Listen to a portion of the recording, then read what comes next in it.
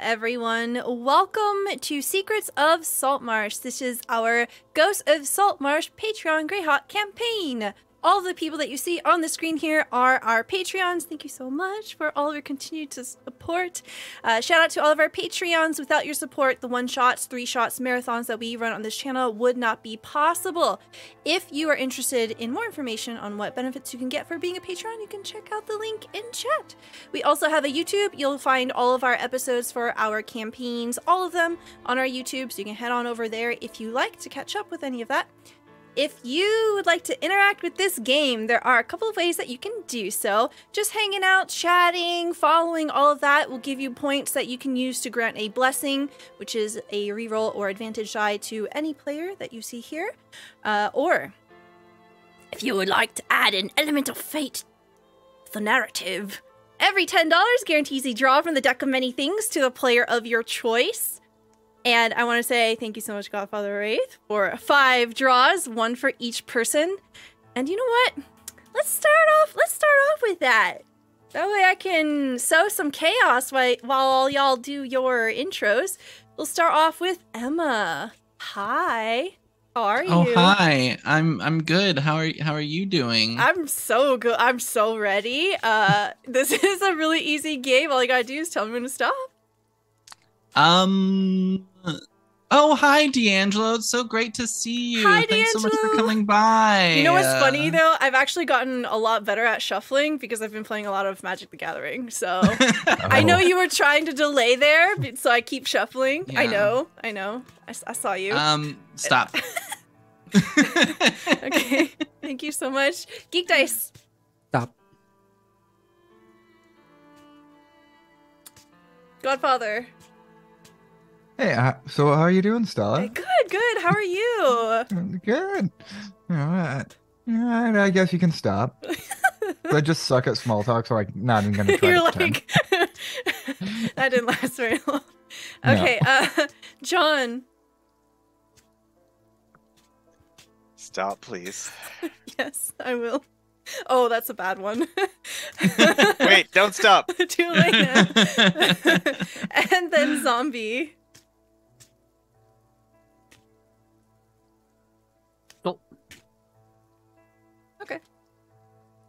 All right. Uh, so, uh, to begin, we will reintroduce everyone that's at the table. Please tell me who you are, where we can find you, and remind us who you're playing. Maybe tell us a little fun fact about them. Whatever you like. We'll start off with Emma. Hi, I'm Emma, also known as Emma Panada. Um, you can find me on Twitch and Twitter at Emma Panada. I'm also writing a TTRPG called All the Witches. It's on Kickstarter now. You should go check it out. It's pretty cool. Um, you can find it at All the Witches underscore on Twitter, or just search All the Witches on Kickstarter and you'll find it. Um, I play Arilyn Ruvallath.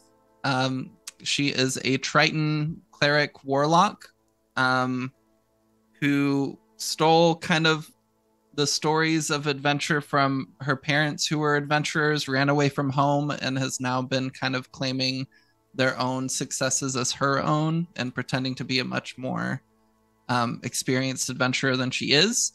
And no one questioned it. And so now she's like in charge of like this ship crew and adventuring party and is making all of these deals with like nobles and you know she's just thriving and everything is totally fine and nothing bad is going to happen ever Nope. a fun fact about her is she doesn't eat red meat Excellent. Thank you very much. We'll pop on over to Geek Dice.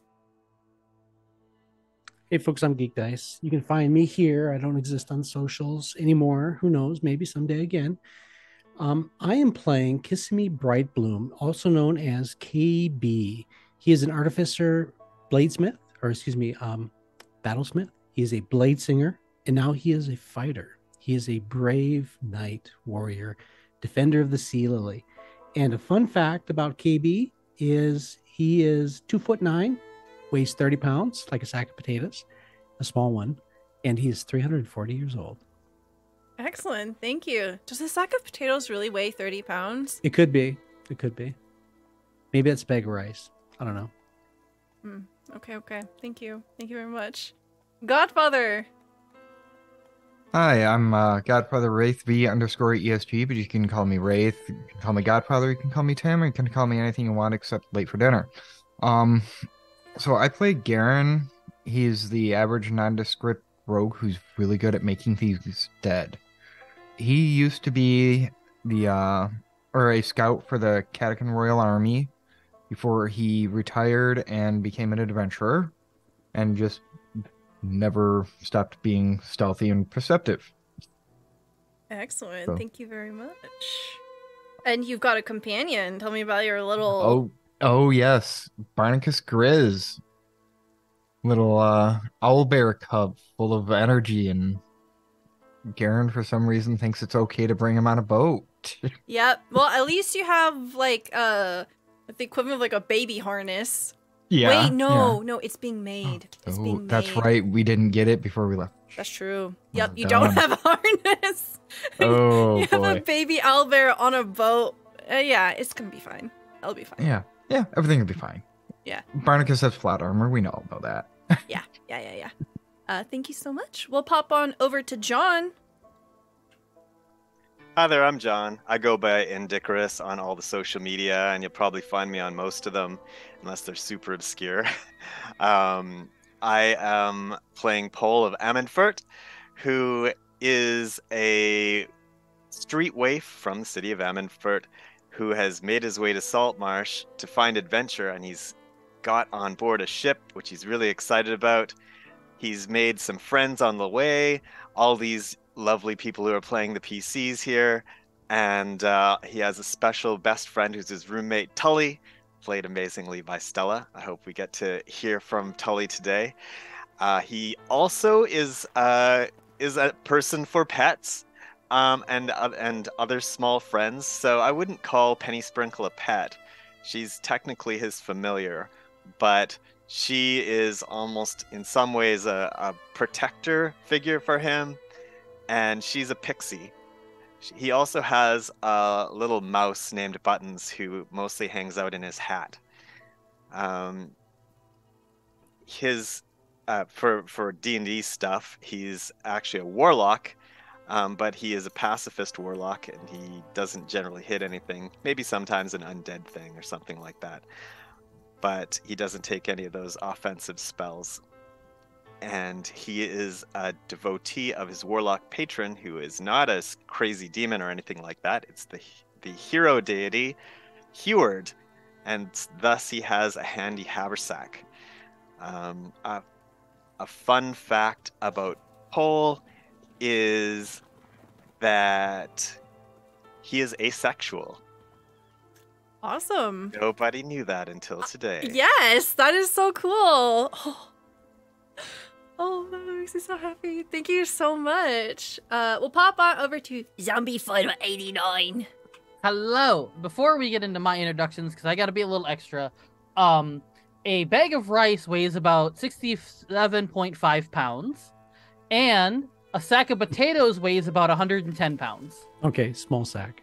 I Thank should say. I recently bought eh, by accident actually. I I bought a bag of oats and it was 25 pounds. So this is in real life though. I don't know what it'd be in D&D.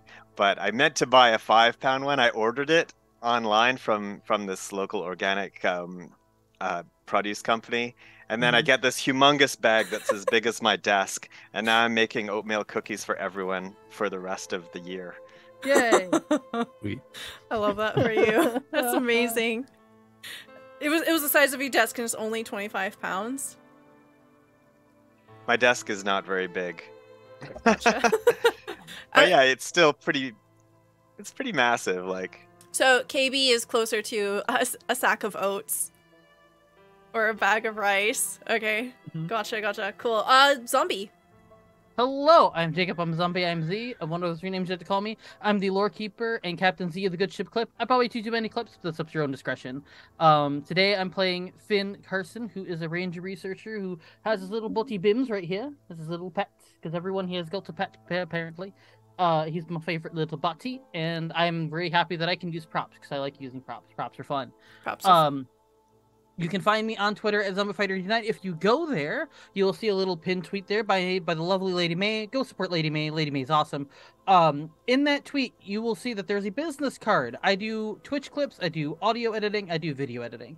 If you know or you yourself are interested in any of those services, please get a hold of me. I'd love to do some edits for you because I love the editing. Um, yeah. Uh, let's see. Fun fact about Fin.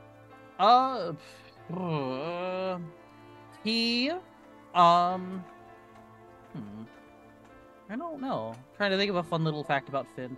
Uh, he's he very kind of like I guess me, very loyal to a fault.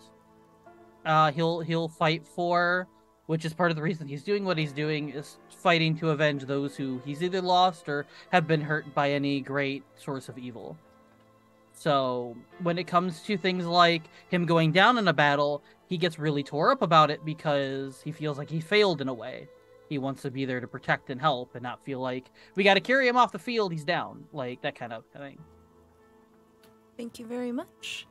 Uh, just as a quick recap of what happened last time, uh, essentially, we threw a party on our boat while we were docked in Saltmarsh. We had a naked day because the captain, Ar- Arlen, uh, was pulled away for business, and Hole reminded Tully that when the captain's away, it's naked day. Uh, so essentially, we had a very massive party. The important thing to note out of what came out of that was that Gellan Primewater had come to the Sea Lily to drop off the missive that was from the Saltmarsh Council, essentially giving y'all the go ahead to go about your mission, um, to come collect the final details and uh, just do your thing. And while Gellan was doing that, approaching the sea lily to give this note, y'all invited Gellan, and Gellan's a party monster, and you bonded, I guess, in a way. Uh, he tore it up. Y'all had a great time, and uh, the next day we set off. Um, we will open up not on the sea lily, but a few hours back.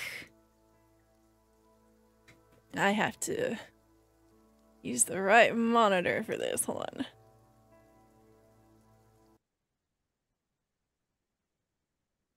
Arlen, you have been approached by Imloth.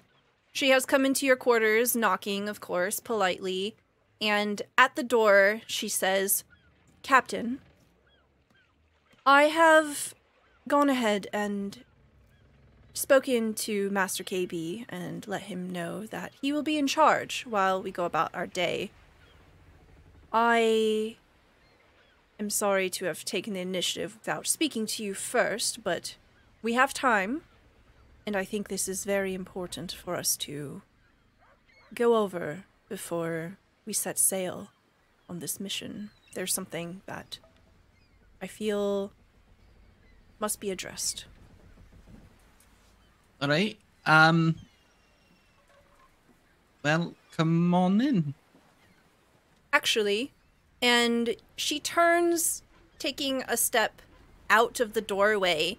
And as she does, you can see that she's holding a sword that's sheathed in a scabbard in her hand. She gestures outside. Actually, I was thinking perhaps you would join me instead. All right. Um, of course. Um, eyeing the sword, is this like a threatening thing? No. No, no, no, no. Okay. It's a this is definitely going to be some kind of business or like something that's not like we're going to go out on town and have a good time.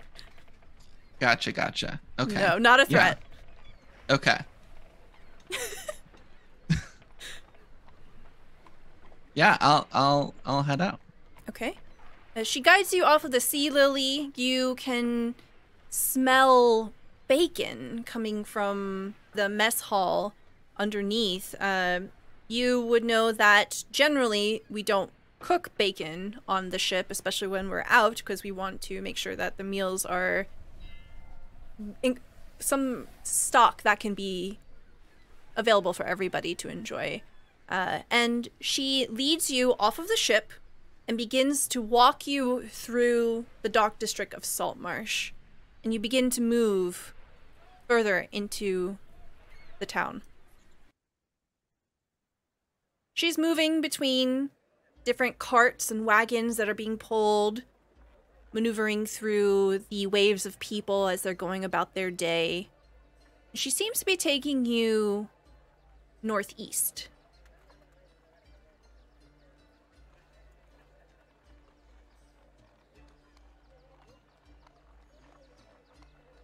This actual north northeast or Yeah, because like um, up is upright? uh, no, uh, up is east on this map. Hold on, I'll show everybody the map.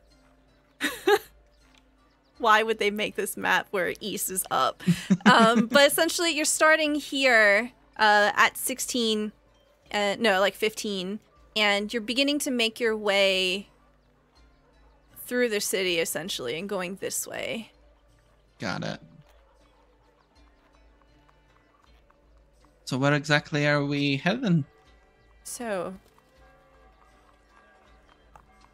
as you may recall, because you were the one who hired me to begin with, I haven't always been sailing folk. And I had a life before my time serving the city watch. Like you, I was an adventurer. And like you, I led a party of very eager friends.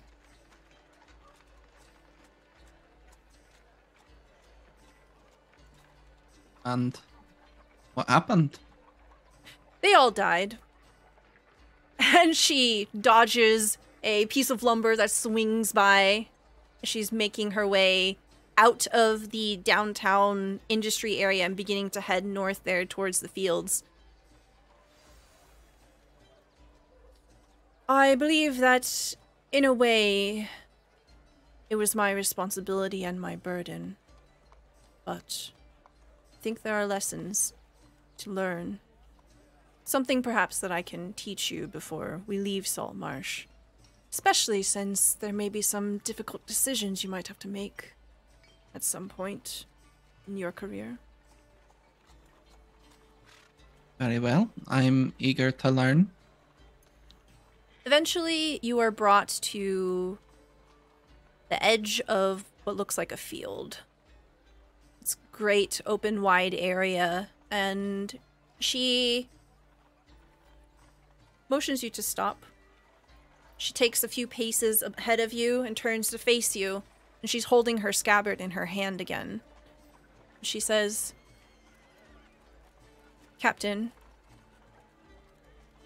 what will you do if you are required to make a difficult choice between your friends, between the people that you would call allies? What if you had to take one of them down? Could you do it? Of course. She draws her Um, sword. Are you sure that's a smart decision? It's important to be more than just talk, Captain. You've seen me do much more than talk, Imloth. Yes, but you spent a lot of time with these people. and You've spent a lot of time with me.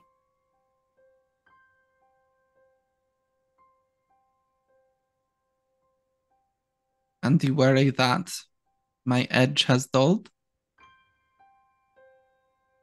Perhaps. We have gotten to know each other quite a bit recently.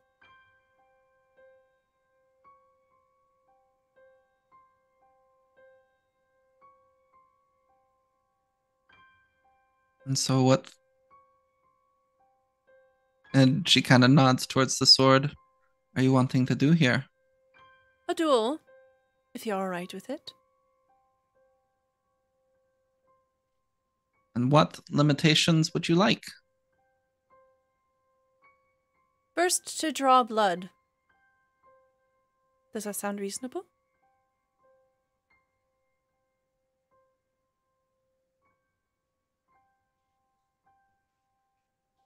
How about the first to wind the other? To wind. Very good. Half health. Okay. And she takes on a stance. You haven't seen her move with this sort of grace before. When she was working for the city guard, she was wearing this clunky armor and she had a spear. She had an oar, I think. She I think she was the the boat driver or something. Um and then on the ship, she hasn't really been pulling on anything other than ropes and fixing barrels into place and you haven't really seen her in her element before. And here, standing opposite of you, is someone who seems confident, someone who seems experienced. She has her sword pointed at the ground.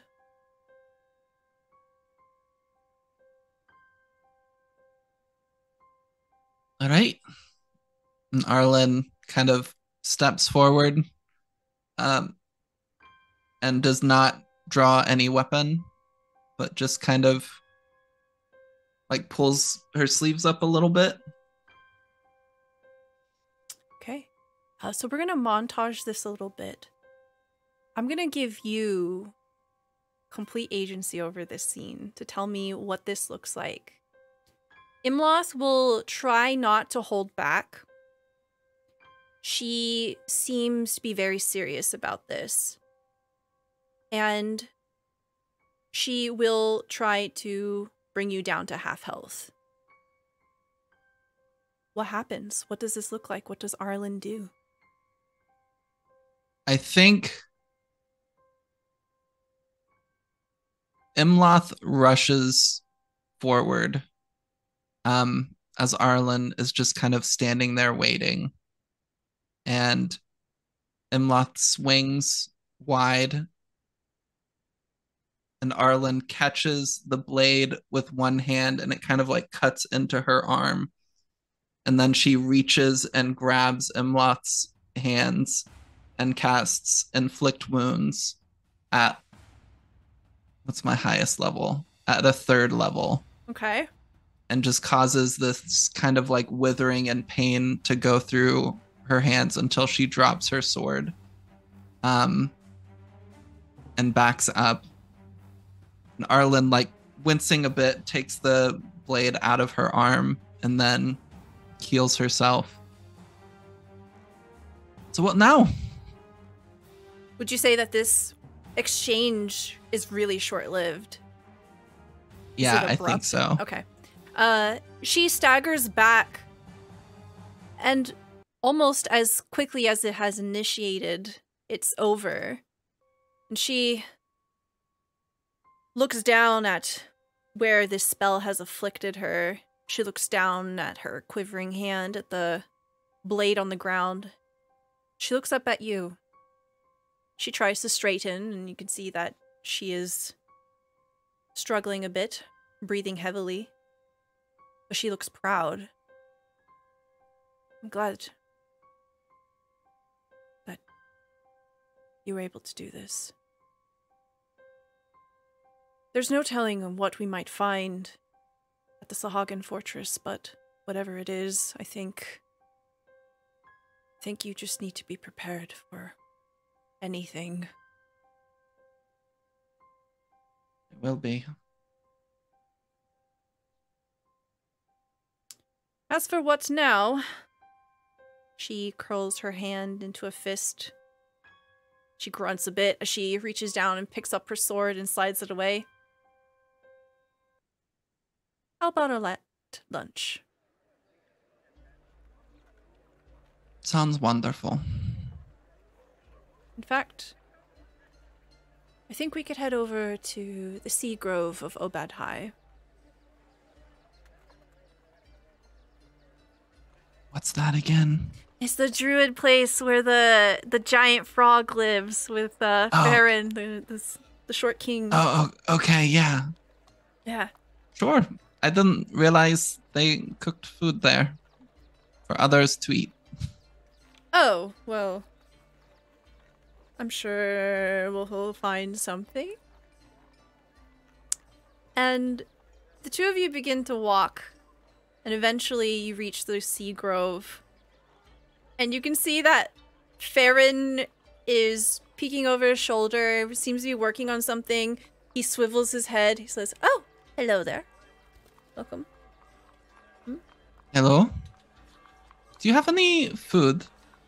Oh, um, he, he turns away. He's like, uh, not really, and continues working. And he does this thing where he keeps looking over his shoulder at you as Imloth says, Follow me. Right? And I will follow Imloth. And essentially, she takes you to this patch where it's very clearly there's a little picnic area that's been set up. Oh. What exactly is happening here? I just wanted to make sure that, you know, everything will be alright and just make sure to, you know, just spend some time together before we head off. That is very kind of you.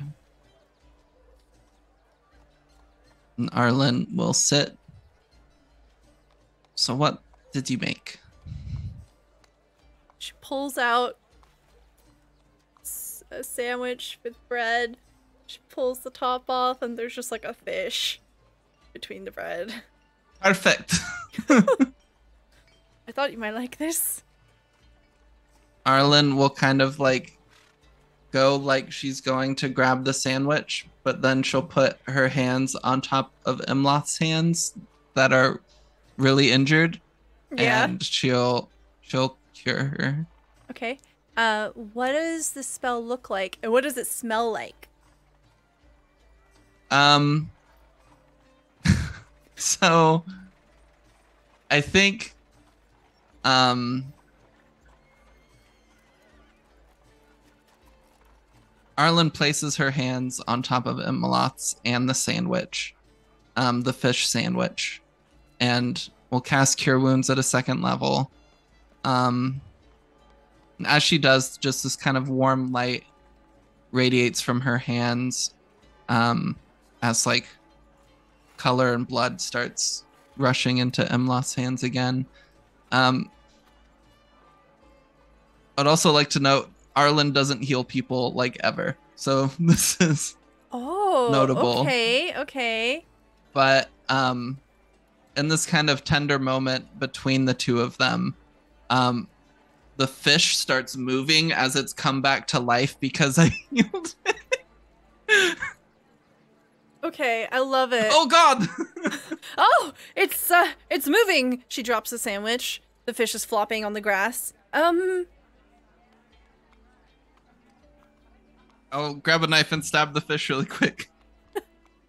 it flails around on the knife. Oh, ugh.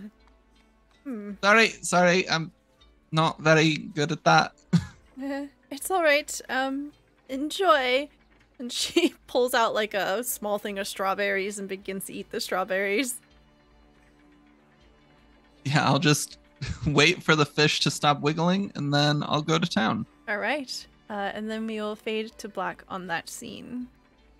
We open back up on the water. The group of you have departed Saltmarsh, and you are now setting sail, or you have set sail, essentially. Uh, The group of you are gathered around a map, and you now must decide what path you want to take here with your journey. You know that along the way, leaving Saltmarsh, you could stop by the lighthouse where you met Ursa Major. You could stop by Abbey Island, where you encountered very many undead things. And also along the way is the blue spot and the lizard folk lair. Blue hole, blue hole. Oh yeah, blue hole. That's what it's called. That's right.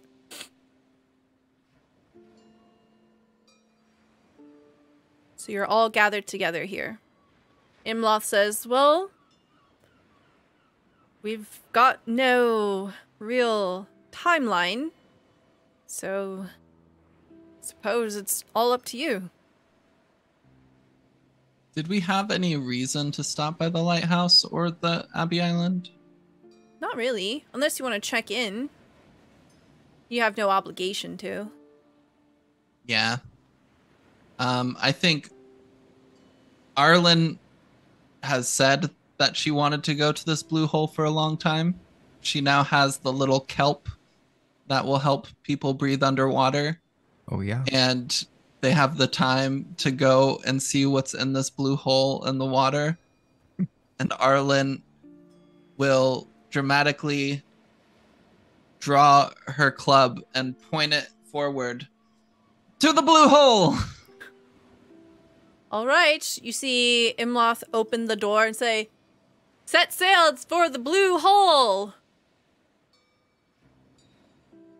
You hear the ding ding and the pulling of rope and other boat sounds. I don't really know how boats work, but s- sails unfurl and boat moves over water.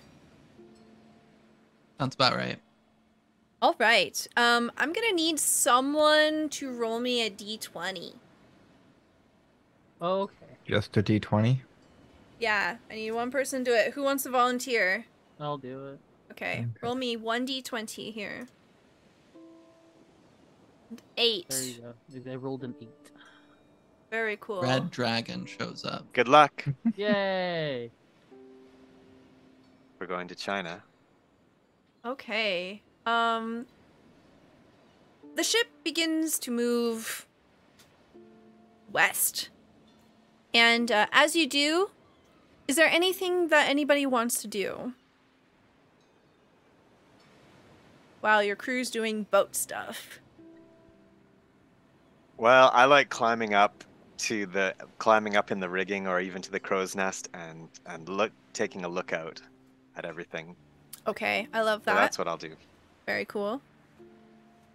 AB is going to spend time running through drills with our our various armed companions. Uh, there's a few knights, and I think there may be some crew, although they're not officially soldier sailors.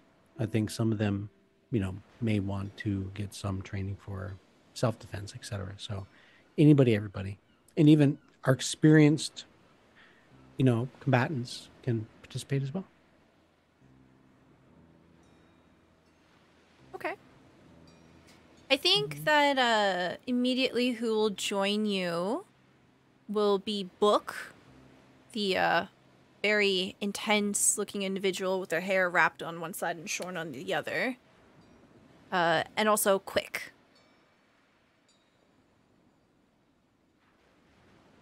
Excellent. Anything else with anybody? What's Garen doing? Oh, where have you put Barnacus? Oh God, yes. Uh, we never did find a consistent place for Barnacus. So, um, I'd like, I, I'd like to say Garen found a length of rope and has kind of lashed a harness Mhm. onto Barnacus Okay. to try to keep some semblance of control of him.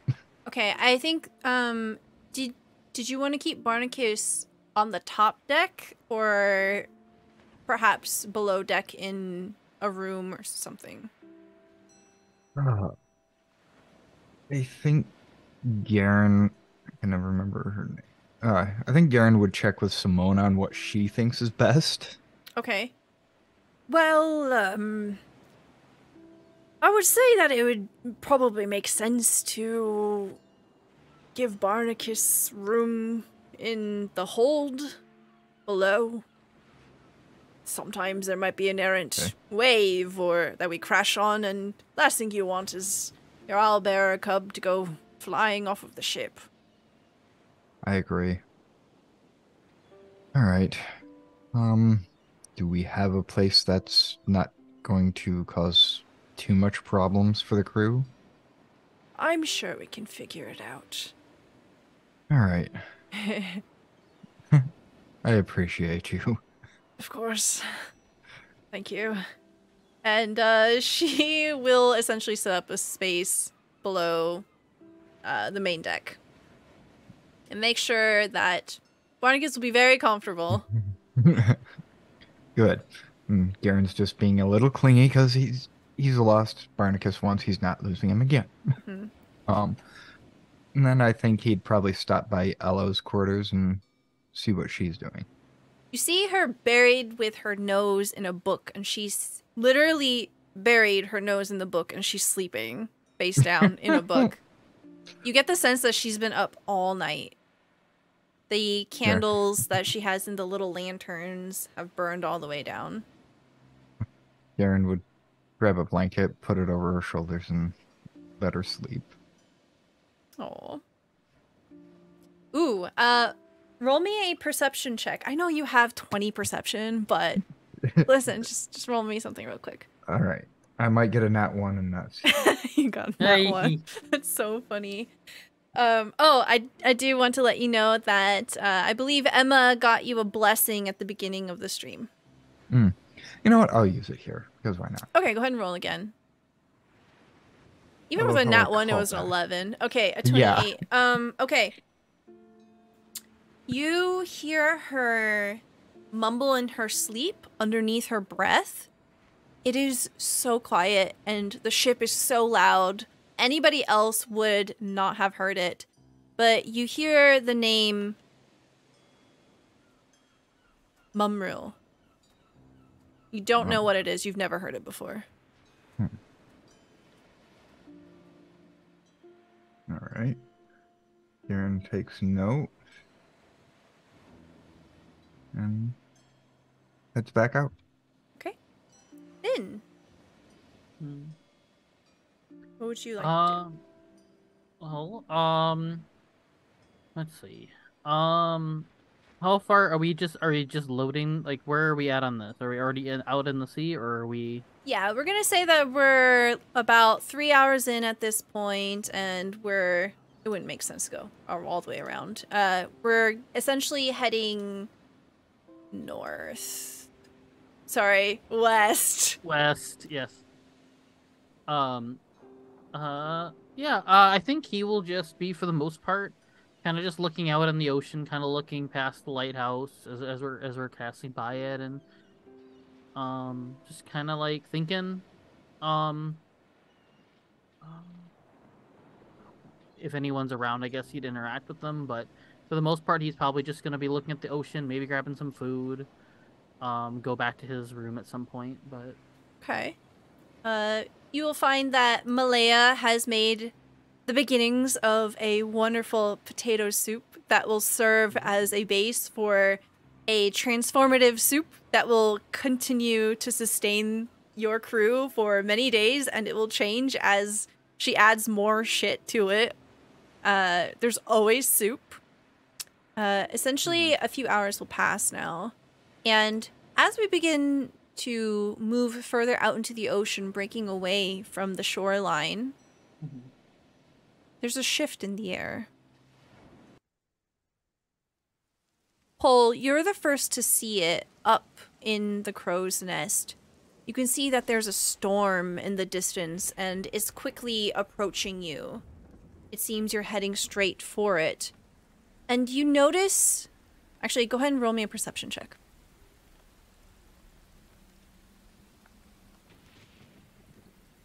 All right, perception. 13. You notice that there's something unusual about this storm. Pol has been on boats before, correct? Just this one. Just this one. Okay. In that case, you know what storms are like. Maybe they're a little different out on the ocean, but there's definitely something unusual about this one. There is something electric in the air. As you see a whip of lightning crack against the sky, there's this brilliant purple hue that echoes out amongst these thick, heavy, dark clouds for but a moment. And then there's another crack of lightning over here, and it's red. Another, and it's orange. This seems weird. I'll call out to the captain and crew. Strange weather ahead! Look out! Orange and purple colors in the sky. And as Pol and points this lightning! out- Don't forget lightning. and as Pol points this out, you all notice, huh? Yeah, weird weather. Do you can we get the sense of what what's up with this weird weather at all? SKB? Yeah, KB has seen a lot of a lot of seasons in his many years, and he's a, a little bit of a, an expert in all things nature. Is this something that KB has seen before? Okay. Um, Arilyn, because you are a Triton and you know all kinds of ocean things, I would like a history check from Arilyn and KB at advantage. Nice. Thank you. 22 from Arilyn, very good. And that is a nat 20, which is a You 30. think you're better than me, Geek Time? I had to, at least once. A- Okay. A, a, nat 30.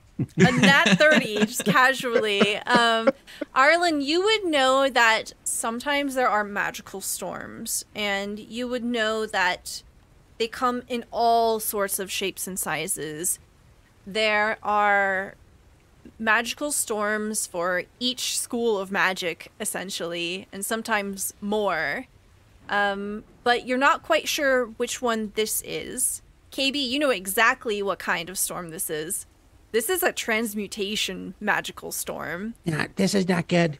Uh, turn the boat around. What's going on? What it I know it's a magical storm, but what do you know that I don't know? Yeah, I- it, it can be really bad. It's like the transformation school of magic, you know, that that changes creatures and changes things and other things. Um, I think KB says, "Look," and points down at the water, and you can see the water around the ship. The ship is moving through it, so uh, the water crashes against the bow and it ripples out, and you see that the water is changing into ice and rock, and is kind of bouncing off of the ship. And you hear this weird grinding noise. All right, yeah. Um, turn around if we can. Uh, I You're- don't know if we can, but Uh, you see that the storm is moving extremely quickly, and it seems to be washing over you. And Simona calls from the helm and says, Captain, at this point, we would just be following the storm in the direction it's going. Are you sure you want us to turn around?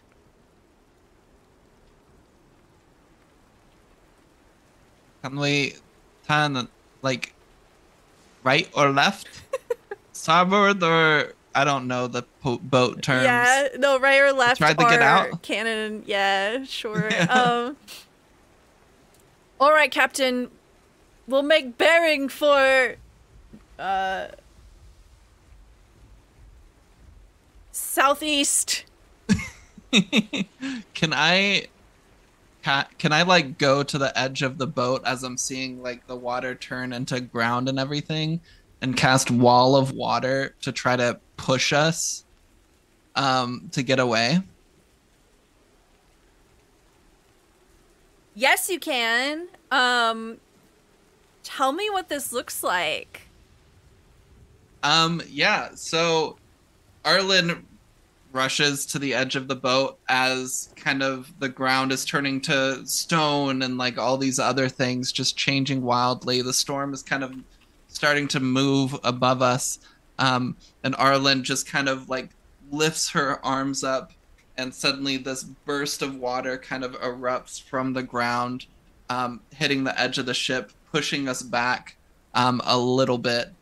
And then as we're like pointing away from the direction we were going now, um, Arilyn cancels that spell and then uses gust of wind to push into the sails to get us moving.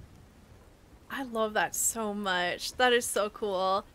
Um, as you're performing all these spells, what kind of demeanor do you have on? What kind of expressions are you making? Urgency. okay. Urgency. Arilyn's very focused, trying to move quick. Okay. Um, you see that the crew all around you are running around and they're trying to batten down the hatches and tie up rope and do things that are appropriate, and they are all really experienced boat people. Um, as the ship begins to turn, you hear it groaning, almost in pain, as it's being twisted and turned around with all of these spells and the storm. And you almost hear what sounds like a deep, painful moan coming from just the, the depths of the boat. It maybe it's a trick of the wind. It's really hard to tell. There's a lot of stuff going on. You see that a mile out that way, there's a patch of molten lava roiling in the water in the midst of this storm. You see that there's ice beginning to come down in shards, and um, three miles that way, and essentially this is just no, not good news. But you do manage to successfully maneuver the boat out of the thick of the storm, and as you cast that gush of water that's not the name of the spell. Wall of water. I think I think that is the name of the spell actually.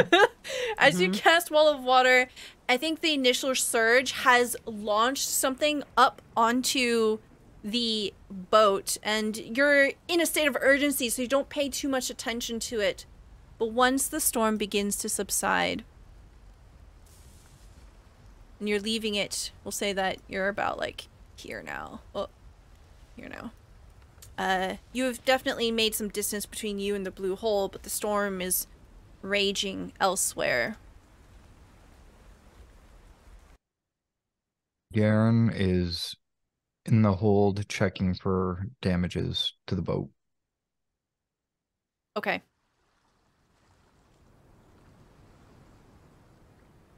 Pol, what are you doing? You were up in the crow's nest throughout all of this. I think if Oh. you stayed up there, it would have been like whiplash.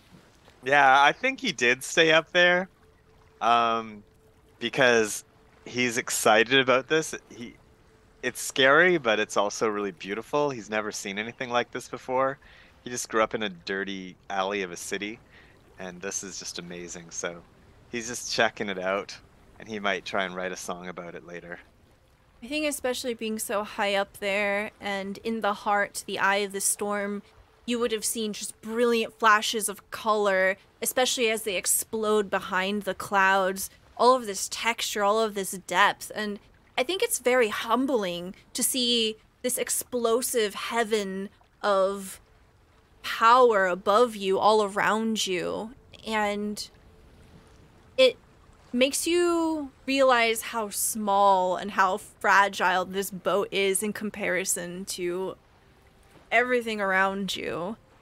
hmm And eventually, the ship begins to pull out of the storm and calm. The waves are definitely thrashing a bit, but and calm is relative, but calmer than it was now.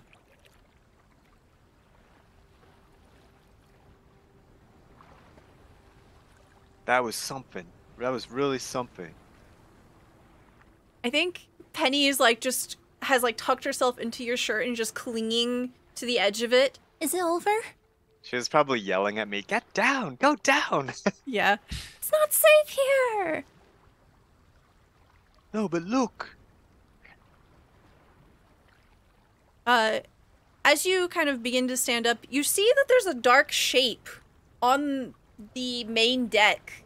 And you see that some of the crewmates are beginning to gather around it. They're not quite sure what's going on. Well, now I want to go down and check it out. I'm gonna dive off into the water.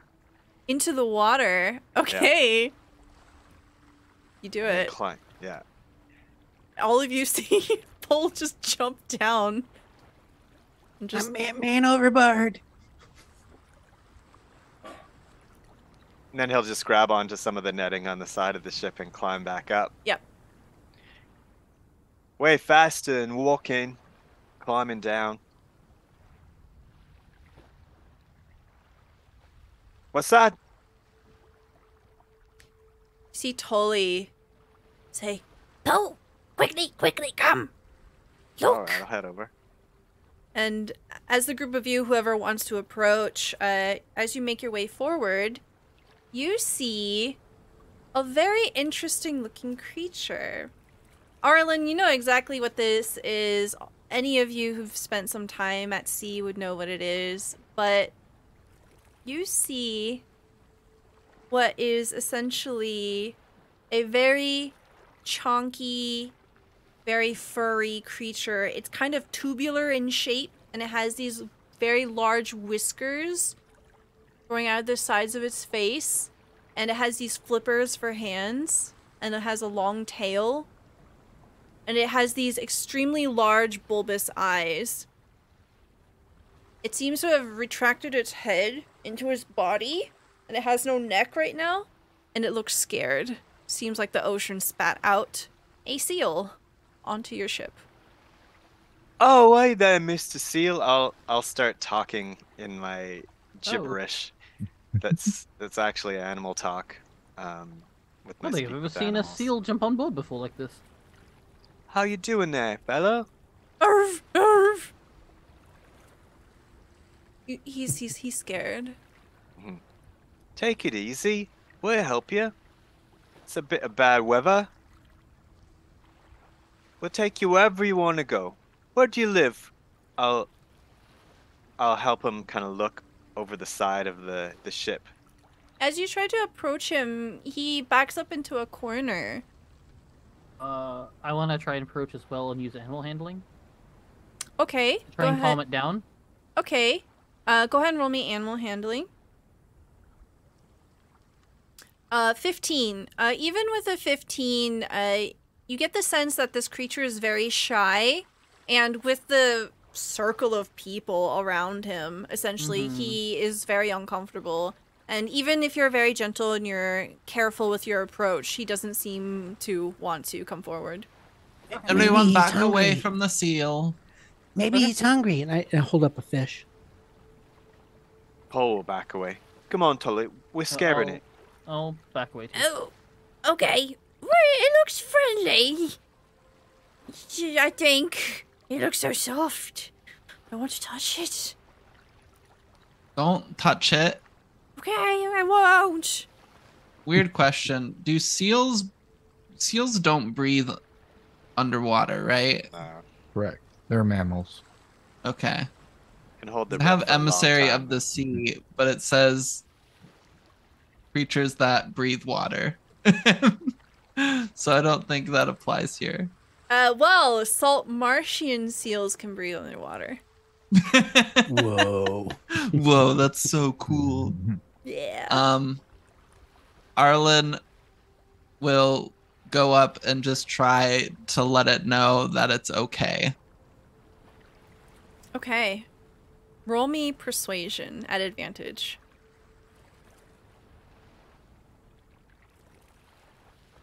Nineteen. Okay. As everyone begins to back up and you approach, it looks up at you and it ha- has these large puppy dog eyes. Just watches you. Arf. Yes, safe. Arf. I'm gonna like reach over to KB for the fish. Uh, and I'm gonna offer it to the seal. You see the seal roll over and expose its belly to you, and it just holds its mouth open, lazily laying there. All right, and I'll kind of drop the fish in its mouth. It eats the fish and it seems very happy. Its tail begins wagging like a dog. And you see it slowly beginning to fall asleep. All right, everyone, be nice to the seal. Leave it alone.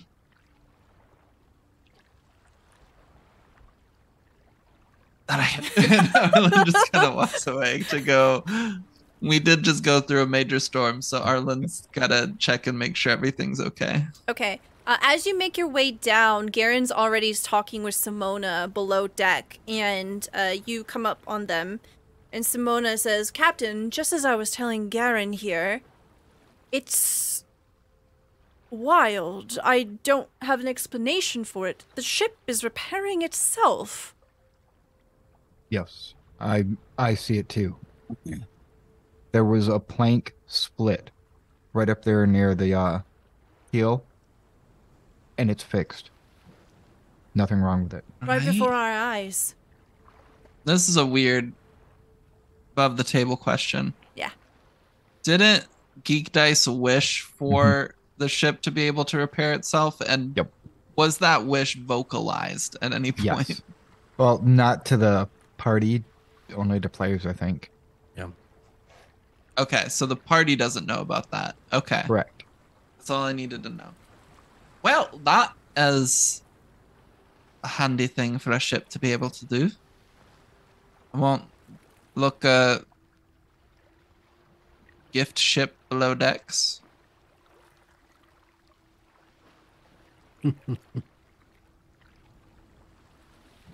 Yes, quite. Uh, You, you don't have to be so serious. That was a funny joke. You could have laughed a little.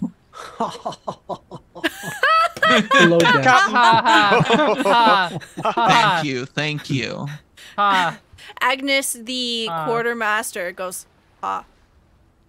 Continues writing in this little book. Almost seems Garen- like it's destiny, Captain. Yeah, Garen just kind of quirks a smile and and walks off. Eventually, Garen's like Agni. yeah. Uh, eventually, as uh, y'all come back up to the main deck, um, Imloth will say, Captain, we've ventured further south than we would have wanted. According to the maps, we need to continue northeastward if we want to seek out the blue hole. Did we Right, see the well- storm pass? Did the did it like pass? hmm You see, the storm is essentially continuing uh, further north. So it's passing over Abbey Island now. Ooh, Okay. dear. So that's All good. those- It, it didn't go like over Saltmarsh as far as we know, right? Maybe it might swing. Who knows? Oh my gosh, Stella, can all of the zombies and undead from the island be turned into like creepers and things from the stat blocks that were just released by D&D? Maybe. Writes down furiously. Giving the uh, DM ideas. Why? Because it'd be funny. Oh yeah, yeah, yes, funny. All right, well, now that we're out of the danger of the storm, we can correct the course and head that way. aye, aye, Captain. What should we do about our friend here? It's been an hour since you've calmed it down now, and it's continuing to sleep. Can you lift the seal? How much do seals weigh? A lot. yeah. How much does a chonky seal weigh? Funky Yeah. Captain, I I suppose since this is a much larger seal than usual, it is around a thousand pounds. I don't think it's going anywhere. Exactly. it, it will leave when it wants to leave. Until then, we will continue on as we do. All right, you're the captain. Uh, make sail for Blue Hole and ship things continue. As the group of you are making your way towards the Blue Hole, you see that you're passing over uh, various interesting qualities and uh, terrain below. You see that the storm seems to have unearthed quite a bit of things, and there's some debris floating up, and the water has become quite clear in certain places. And you see, perhaps a hundred meters to the left, there are bits of color that are shimmering below the surface. It seems that something has broken off, and it's gathered in these bulbous clumps and it's kind of floating as a giant mass of very many tiny pieces. And then you see to the right, the other direction, that there are these long strands of kelp that go from deep, deep below that seem to have grown so long that they reach near the surface. What essentially is a kelp forest.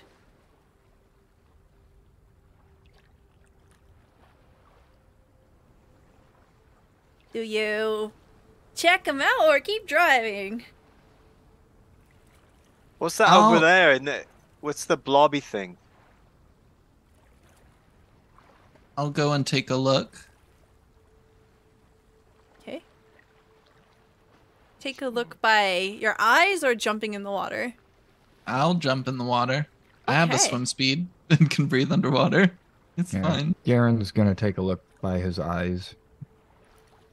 Okay, uh, that's a 13 from Garen, and uh, Arilyn, you jump in the water. Uh, as you jump in the water, you realize pretty quickly that they are bits of broken coral reef. And they almost look like jewels here. These fist sized clumps of coral that have broken off, and they're a rainbow of colors. Garen, as you watch Arilyn swimming out, you can see that on the other side of this mass is a shark. Arilyn doesn't Oh. seem to see the shark quite yet. Garen calls out, "Shark!" Don't know That's if Arilyn fine. can hear him. Shar- sharks are sharks are nice. You wouldn't you wouldn't villainize sharks in your campaign, would you, Stella? Listen, you can adopt anything in this game. um, do I hear Garen shout about the shark? Yeah, sure. Okay. Um, I will see the shark and wave to it that I'm friendly. Okay, roll me a persuasion check.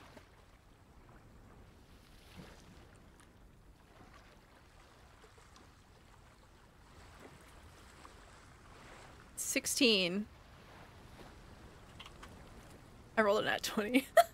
No, um, it begins swimming towards you, very fast. Let's how see. far away? Say that it's uh a hundred feet from you.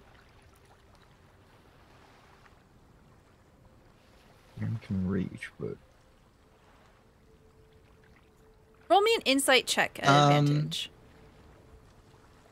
You would okay. know. You would be very familiar with these sort of animals.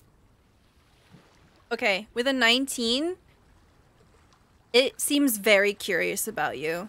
It doesn't seem like gonna eat you Mhm. aggressive, but you know, sharks are pretty just aggressive creatures in the sense of like, you know, if you had to like anthro them, they're like very passionate.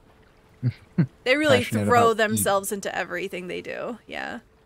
Okay. passionate about eating. yeah, Um, that too. Arilyn's just gonna stare it down. Okay. Uh it essentially swims up towards you. It swims past you. It doesn't slow down at all. And then it swims in a in an arc and it comes around you. It seems to be circling you, but it doesn't bump you, it doesn't bite you. It's very curious. Okay. I'm just gonna start collecting these like cool pieces of coral. Okay. Very nice. You have drawn the gem card. Whoa. Whoa. Uh, you can add 500 gold worth of coral to your inventory.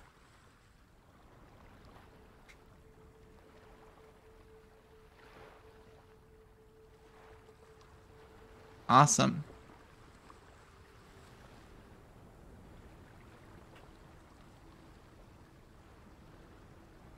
Okay.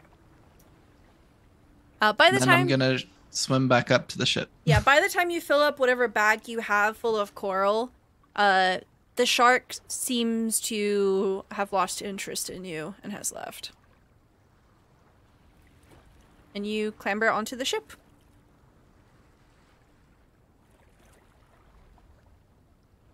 All right, I found some cool coral, and the shark was friendly, and we can keep moving.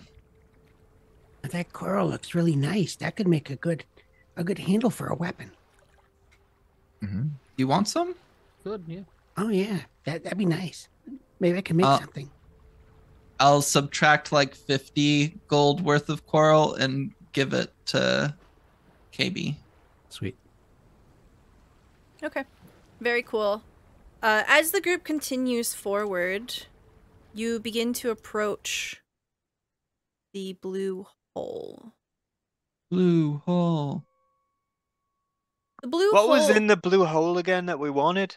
We don't know. We it's don't just know. cool and mysterious. Oh, that's good. I like the, that. the idea was to discover the mystery. You, Mhm. you know, there there had been a moment, I'm pretty sure, if I remember correctly, where there had been a vision. I think KB had a vision of something down in the hole, and there was Oh. large moving forms. Oh yeah. I believe. Yep. Uh, just as a reminder, um, this has been talked about amongst the group, so you would all know this, but uh, a blue hole is a circular sinkhole that forms on the bed of the sea in shallow water. Uh, this particular one, we'll say that it's about a thousand feet wide and a thousand feet deep. And uh, you know that they are filled with secrets. Sometimes they hide monsters, sometimes they hide treasure. There's only one way to find out.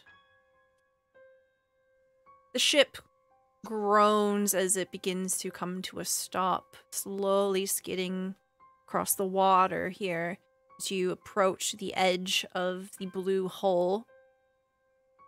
And there's this sort of hush, this sort of anticipation with the crew as everyone's gathered on the main deck. And they're all looking at you, a group of you. It's probably pretty assumed that you will be the ones to check it out, and they'll keep the ship sha- safe. Yeah.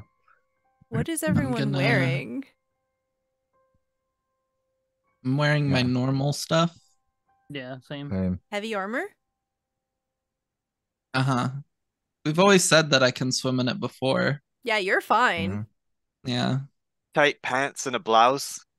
Okay, Studded leather. okay, Leather armor. okay. Uh, my name says scale meal. Okay, so Fin, the water is deep. Mm-hmm. You're going to be swimming for some time here. Your scale mail is a scale mail medium or heavy? I think it's medium. Why did I type medium? That's not going to help me. Scale Find a medium near you. medium. Uh, okay, it's medium. You're fine. Uh, it will be heavy. It will be exhausting if y'all have to swim for a long time. So uh, just keep that in mind. But you'll be fine. Okay. Uh, Simona says, We do have a rowboat if you want to take it. Do you just want to swim over there? What's the plan? I mean, we will eventually need to swim, but it might be best to uh take the rowboat in a bit farther. I think that's a good idea for you all. I Um, don't here, mind I got, rowing. I got this for each of you, and I hand each of you a piece of like magical kelp. Mhm. It'll let you breathe underwater. Oh, nice. That, that'll be helpful. Nice. How long does it last? I don't remember. 30 minutes? Mm. So I'm also trying to remember. Did we say bows do work underwater or no? I believe it's considered at disadvantage. Hold on. There's actually a handout literally for this. Oh, Yeah, I think weapons that uh, don't have disadvantage are, are is a short list: spear, trident, short sword, and um, dagger. In essence, those things that can cut through water. all right. There's a So list. Garen's leaving his bow on the uh, boat then. Underwater combat. Yay. Yeah. Here you go. Oh. That's melee. This is range. Making a melee weapon attack, creature that doesn't have a swimming speed has disadvantage on the attack roll unless it's a dagger, a javelin, short spear, spe- short sword, spear, or trident. A ranged weapon attack automatically misses a target beyond the normal range. Even if the target's within normal range, it has a disadvantage unless it's a crossbow, a net, or a weapon that's thrown like a javelin. Okay, so like with a bow, you'll treat a normal attack in normal range with disadvantage. Yeah. It's not impossible, but definitely a lot harder. Yeah, that that's not wise for Garen because even if he hits, he's gonna hit for garbage. for him, at least. hmm So yep, You he's gonna go with a short bow. Or short sword, I mean. Okay. was gonna say you could take aim to get rid of the disadvantage and just roll straight. True. Hmm. Yeah. Tully will begin to jump up and down and say, hmm. Take the boat, because then you can put the treasure on it and bring back lots of treasure. Yeah, right. That's a great idea because we're gonna find that- treasure, not monsters or anything. Obviously, Yeah. it's going to be treasure. Is there enough room on the rowboat for all of us and treasure? Depends on Well, how I'll much treasure be- we get. I'll be Yep. swimming anyway, so Yeah, if there's treasure, I'll just, I'll just, uh, You can just leave someone behind. yeah, I'll just grab onto the back of the boat and uh, you can pull me. I can't pull behind. very Okay. good. uh, So so, whatever, we'll figure it out. Mm-hmm. uh, did you want to take any of the NPCs with you? Um, Mm-mm. I'm trying to think. Would there be any of them that would be clamoring to go?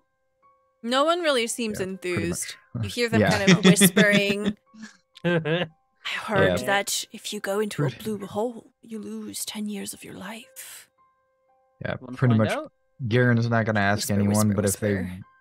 ask to join, he wouldn't stop them. No one asks to join. well, then that's fine. Yeah, I was gonna say if there's someone that seems very intrigued or like, you know, ooh, this seems really interesting. I want to go. I don't want to stop them, but if nobody seems it, then okay. no.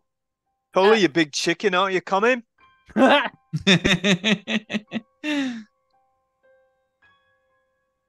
not a chicken. You're a chicken. Well, I'm we can't the bring boat.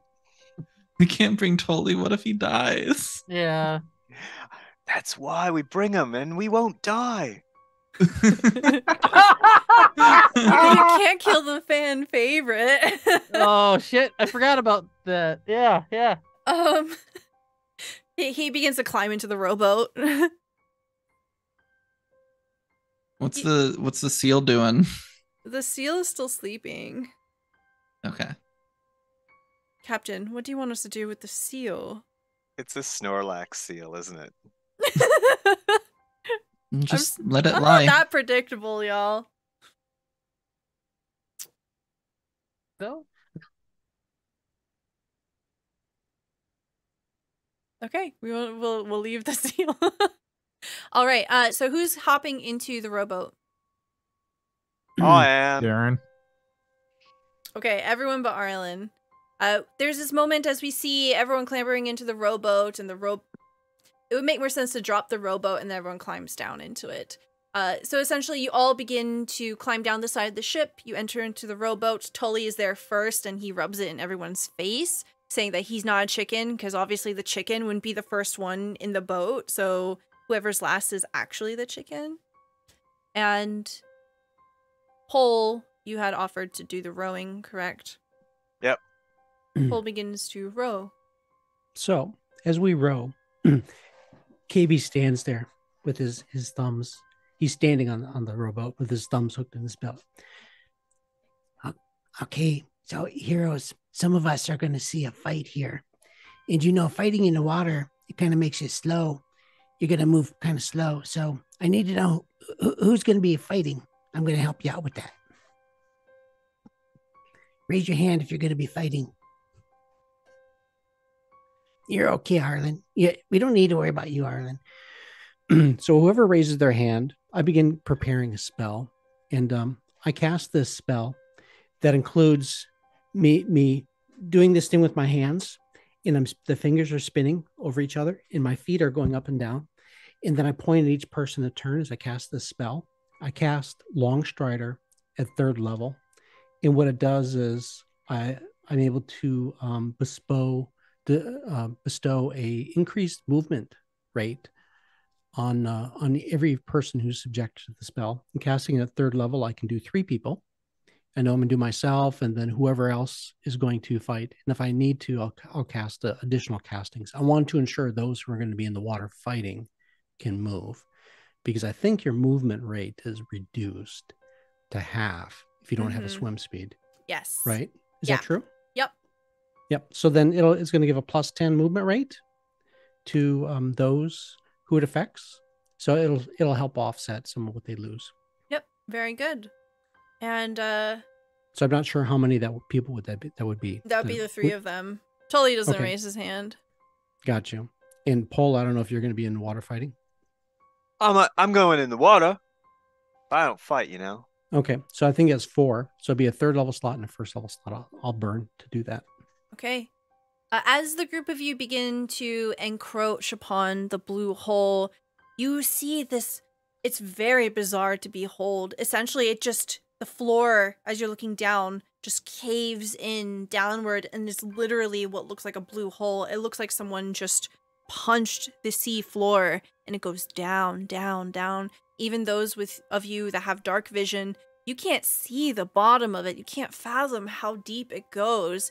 And you see that there are a number of clusters of coral and kelp that grow off of the sides of it. Some things have broken off and snared in it. You see the remnants of another rowboat kind of clinging to one of these outcroppings that are uh, extending out of the sides of it. But the base of it just goes down, down, down.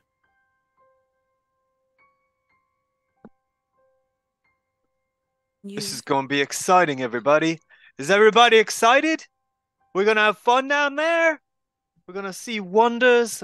We'll tell tales that no one's ever heard. Um, and Pol is going to use his inspiring leader ability to give everyone some temp hit points. All right. Very good. Tully goes, yeah, yeah, yeah. He rips his shirt. Oh, Pol, you Uh, would know it's not gets- his shirt. Yeah, He we got took lots the of those. Shirts They're all from pirate someone. Yeah. I didn't take Uh, one. so 13 temp hit points for everybody. Oh wow, that's nice. a lot. I like that. Thank That's you. Good. Thank you very much. Um, Stella, I know the ocean is very deep, so I probably can't see the bottom. But as a reminder, I can see up to 300 feet uh, as dark vision. It goes Um, beyond 300 feet. That's what I figured. I think Arilyn, as you look down, though, you do see that things are moving, large, dark shapes, as KB had seen. Can I? Do I get a sense of what they could potentially be? They've got tails. It's really hard to tell. They're monkeys. They're not monkeys. There's some kind of fish. Maybe. Question mark. Fish question mark. Got it. Right. Well, I can see there's some stuff down there. So everyone move with caution. Right? Mm. Guess we I eat can't- kelp and we sploosh. I Nope. can't tell if Stella's face is you're doing a really dumb thing face or Um, what can I do here? Hold on. I got some cards. Let's see. I play one of your cards right now. Well, if there's a TPK, no. then our NPCs we can take them over as as characters. Right? yeah. Who's playing Tully? Mm, Okay. Um, so you all cheers your kelp, bottoms up. It's a bit salty and slimy going down, but you manage to swallow it whole, and you feel almost as if your new fresh breath has washed into you. You taste how salty the air is, and it's not unpleasant. And if, for whatever reason, if you were to like grab water and try to snort it, you realize you can breathe underwater now. Nice. All right. I'm going to assume that you all dive in. Yep. As you do, we see the camera pulling out slowly as the five shapes of you begin to swim down, down, down. Tully watches from the edge of the rowboat. He scratches his ass. And that is where we're going to take our break. All right. Uh, so we'll be back in about yes. five minutes. Please join us in doing some stretchies, grabbing some snacks and all of that, and then we're gonna see how this goes. Uh, be right back, y'all. Hope everyone had a good break. Uh, so as y'all begin to descend into the water here, uh, you're looking around. It's quite dark. Does anyone not have dark vision? I don't have. Dark I vision. give them dark vision via my class ability. Okay. Um, that's an aura around you, right? Yeah. Okay. Uh, let me post it. Eyes of Night. You have a Then 10 feet. Yeah. Okay. So uh, y'all will have to stick close to Arilyn, but essentially, while you're close to Arilyn, uh, because she is a Twilight Domain cleric, y'all can see up to. 300 feet. Okay. Very good. Uh, so uh, as the group of you are moving down into the water, it's almost it's like breathing. Uh, it's extremely easy to move, especially with the efforts of KB's spell, with the effects of the kelp taking place. How are y'all responding to this? How are you taking this experience? Because I'm sure for some of you, this has never happened before. And you're finding it extremely easy to move. It almost feels like flying if it wasn't for the pressure of the water and the way the water moves around you. Question. Yeah. Um, would we have a similar experience to the dream we had when we all were swimming underwater? Mm. I believe. Or if that's different? I don't think you know. could. I don't think you were able to breathe underwater for that. Mm-mm, no, you were not because that was one of the uh the offers from the hags. Right. One of them had offered. Me and I said no. Yeah. yes. So Okay, this is just new. was- Okay, all right, that's fine. Yeah, I'd say uh from the beginning, Garen's experience, he jumped into the water and was like, "Oh, whew, oh, cool," and then It's very cold. you know he kind of just bucked up and dove down and was struggling a little bit with the breeze breathing water. It was a really awkward experience for him, but after you know a little bit, he did start to get the hang of it, and he's swimming, and he's you know starting to be okay with it.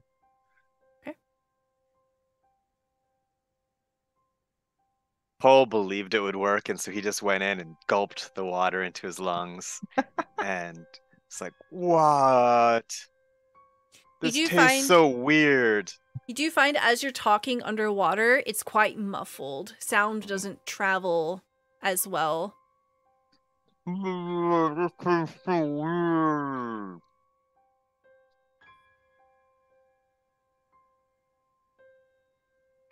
Are you muted? Wait, what? We can talk? Garen literally says that we can talk too. You can breathe, so you can talk. This is different. How's KB doing? Oh, well, you know, KB, he's been everywhere. 340 years is a long time. So, yeah, I don't think he's too uh, offset by by this. Okay. Uh, could I get perception checks from everyone? Uh, this will be normal for Fin and KB. This will be at disadvantage Why? Can I use my because you can't see 300 feet. Uh, sure. So you get use your advantage and you can do it at normal. But if I have regular dark vision and it's augmented by Arilyn, and we're near Arilyn, Oh, I Is can it- do I'm it sorry. for a certain number of people up to my wisdom modifier, which is three. okay. Okay. Um, sure. Kiwi, go ahead and do this at advantage then. Um, okay. We've got 29 from Garen, a 20 from Pol, 20 from Fin, 20 from Arilyn, and a 15 from KB. Okay. You all see it. You can see as you're moving forward that there are these dark shapes that are moving about and you are getting closer. You can see that there are these clumps of kelp kind of growing on the sides of this giant hole that you're swimming through. Let me actually drop all of y'all into the map here. Yay. Um not pictured is the uh the kelp or anything, but just imagine that there are walls coming up around you as you're swimming down.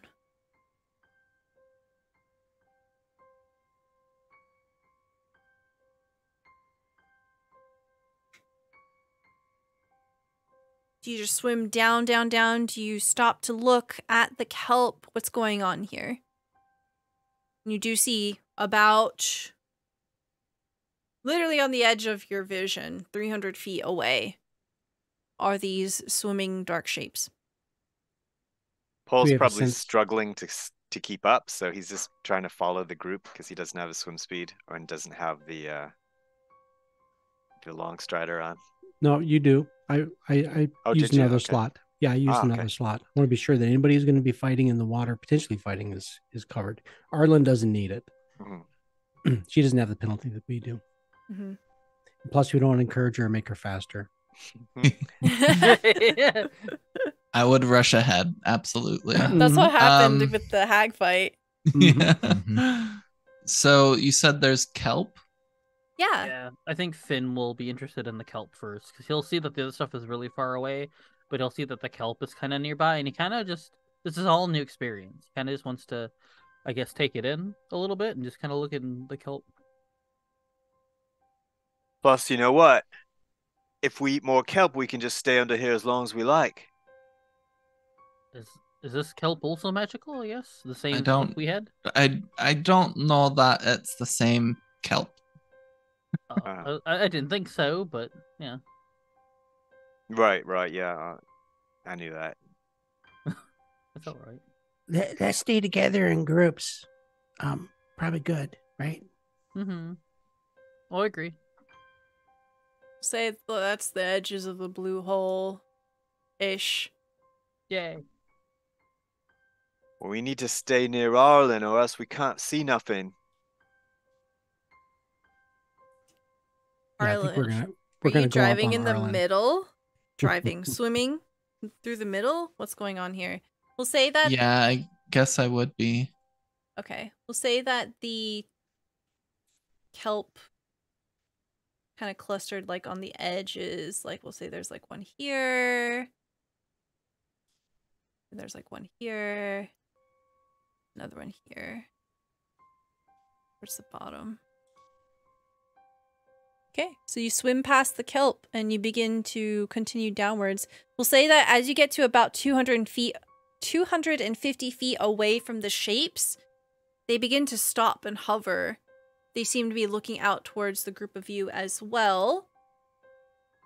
But from the body language, they don't seem to be able to pick you out, or they're not like getting aggressive.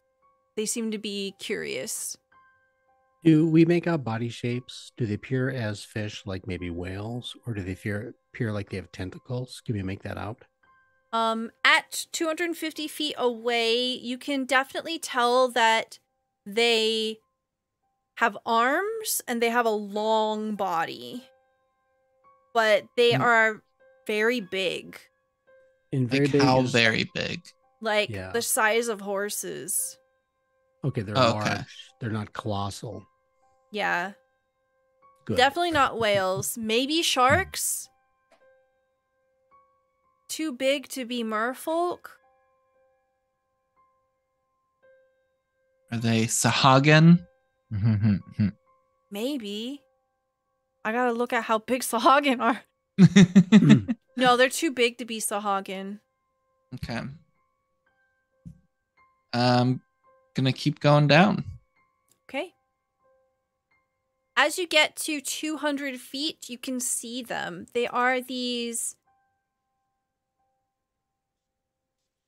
They, they they have weapons. Uh, they are these humanoid beings, and you can see that they have these long snout-like faces, and they have tentacles growing off of them. They seem to have a number of fins, some growing out from their uh, collarbones, and they are tipped on the edges of their elbows and uh, they have these long serpentine bodies as you see them but they don't see you We what ran into that? these in Witchlight. Not that I was like, oh, we've seen these before, but other campaign. Mhm. The ogres. Are, are they good guys? uh anybody who wants to do a history check you can to see if you recognize what these are Could I have Um, advantage? yes arilyn you get advantage How about a 29 on a history check? okay you freaking nerd nerd nerd Ah, fin rolled a one I have an Well, advantage on that. Damn it. Um, so that's going to be a 6 from Fin, a 15 from Garen, a 14 from Arilyn, a 16 from Pol, and a 29 from KB. Uh, KB, you know exactly what these are. They are merrow. Uh, you know that merrow are monstrous beings. They are literally monstrosities. Uh, you know that they are bloodthirsty, they go about and they raid and destroy and uh, they have demonic origins um you know that they tend to live in caves and they hoard treasures with trophies These are all bad guys. Gotta take them out.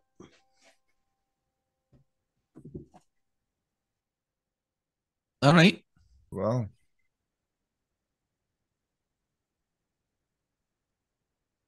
Well, I mean, They're still like be good 200 ones, feet away, though. right? hmm they begin to slowly swim towards you you can see them beginning to move up So I will so continue moving down towards them. Okay. Effectively, the way we will treat this is that you'll have a surprise round because you can see them and they can't see you. Nice. Um, so can we tell, do, do they, are their weapons appear to be reach weapons? um, I will tell you in a minute. Uh, they are equipped with harpoons, which are definitely ranged weapons. Ooh, okay. So, so maybe a tactic is we need to stay together. If they had long weapons, then maybe we need to spread apart. But if they harpoon us, then we could be Ah! in trouble. Yeah. Oh boy. Oh, I, I don't uh I don't disagree though, KB.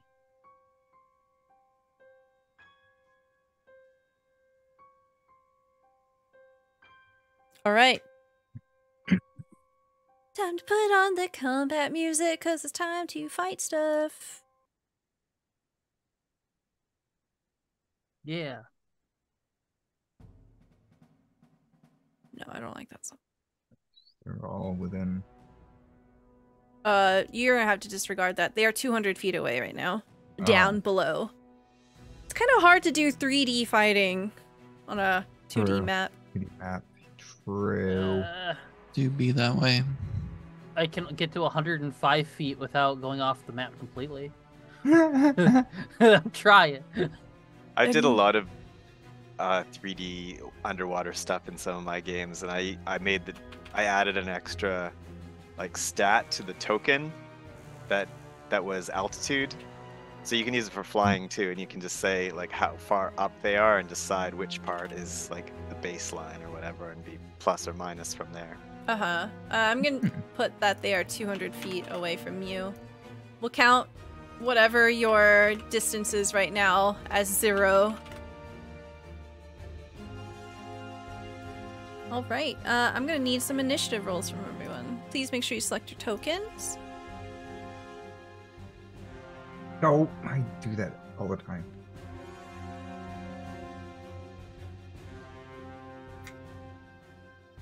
There we go. Uh,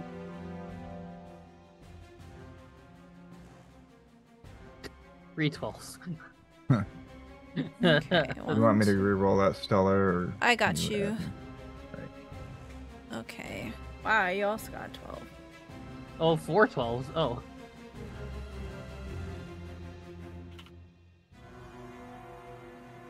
Okay. One, two, three, four, five. Very good. All right.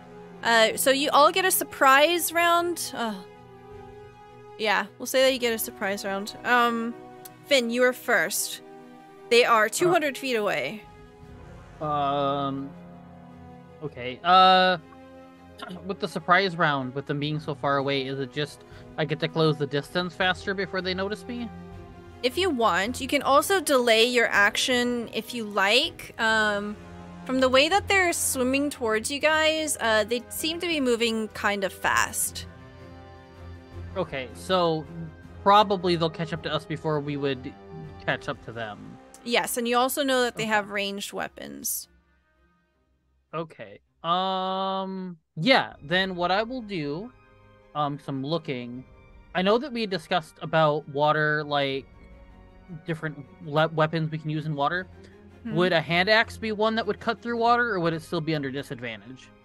Uh, for melee weapons, it's only a dagger, javelin, short sword, spear, or trident that works. Okay. Then either one of my um I'll copy paste this again, just so it's Okay. up front and center. No worries. Okay, then I guess either one of my weapons would be at disadvantage. So I'll just get my great club ready, and Mhm. then what I'll probably do, um, once they're closer, is that uh, once I can finally see one coming to attack me, I'll probably uh do like an extra like twist or like hold hot on tight to um my club for a second and put hunter's mark on my club, so that the first time I get hit, the hunter's mark will be within the club, so whatever I hit will get at least a little extra something since I'm at disadvantage. Okay, uh, I think you have to target a creature with Hunter's Mark. Let me Oh, see what I? the distance is. Hold on. I can post Hunter's Mark. It's the- 90 feet. Um, so if you want to, Hunter's Mark's a bonus action. Uh, so you can only prepare an action. I'll, I'll say that you can prepare a bonus action if you want, but if you do, then you can't Okay. use your action. I just to I thought I remembered us using it before where I was able to put it on my actual great club, the Hunter's Mark. But if not, then I'll just ready my great great club and we'll just call it my hold action that. Okay, sounds good. Uh, it is the Merrow's turn. Uh, they will all dash. I Uh, thought we got a surprise round. you're right. It's not the Merrow's turn. Garen, you're up. Yeah, Thank you. Sorry, I forget. yeah. Garen's choice is honestly going to depend on Arilyn. You can talk for a free action. Arilyn, are you descending or are you holding? Sending. All right. So Garen is going to use his bonus action as a dash action and move. We got so what half movement, so fifteen. Then he dash. We've got Half movement, plus 10 for long strider. so twenty-five. if- So he would move fifty. Mm-hmm. He would move down fifty, and then hold his action to shoot the first one that comes within range, within eighty feet. Okay. Garen minus 50 feet. Just put that there. This There could we get go. confusing very quickly. Okay. Yes, it is. All right. Uh, okay. Pol, it is your turn. Uh, Pole is going to cast Blade Ward Oh, very on nice. himself, yeah. And then move towards the closest one. Okay. Uh, so you will be able to move 25 feet. All right. Okay. Uh, do does your blade ward glow at all? Yeah, it Mm. it does. It looks like um it looks like sparkles from Penny Whistle I love it. Okay. because He- she protects me from everything. Is your blade ward just Penny, just kind of like just Spin- deny, Oh, yes. spinning around Maybe you, just is slapping away? It's like, no, don't hurt Pol. No. Cool. KB, it is your turn. Roger. So, so as a bonus action, I use I en- enable my blade song. So what that looks like is is a military kata. Is basically I I go through these these postures, these gestures with my weapons that I've got out, and the weapons that I've um, infused with my enchantments today are a short sword and a trident. and um, I I look over to Pol Stay close to Arilyn. We, we need to stay together. We don't want to get separated.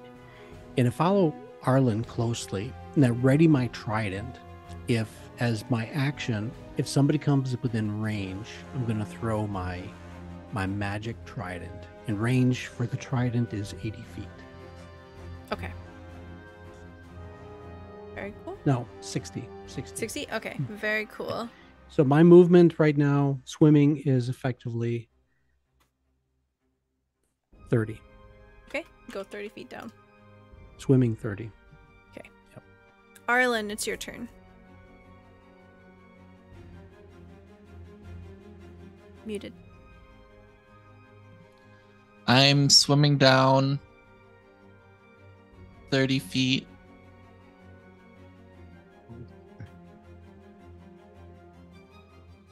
And then going to hold my action for a guiding bolt um, for if one of them gets in range. Okay.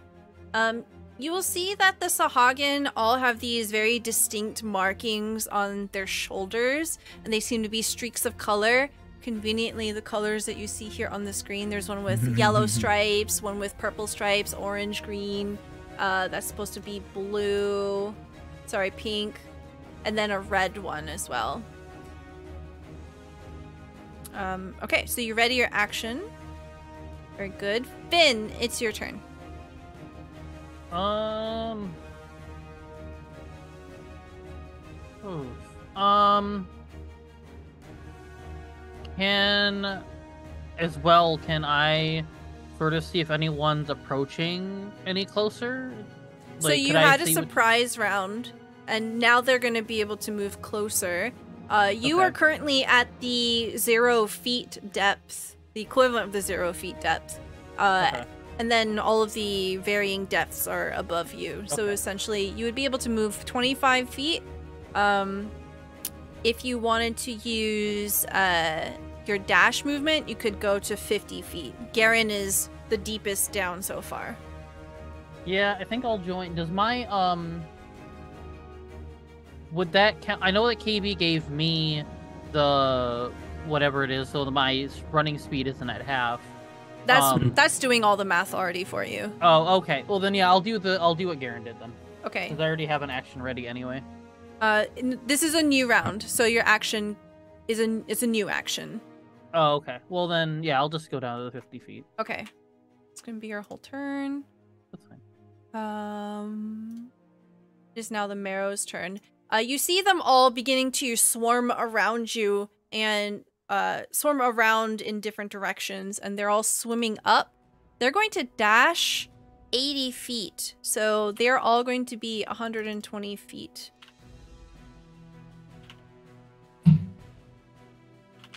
Can They're I? now in range.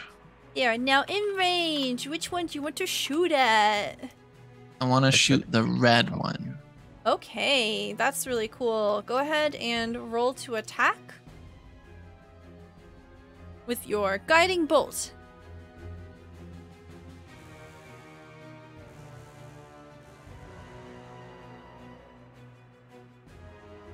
Fourteen. 14 is a hit. Nice. Roll some damage, please.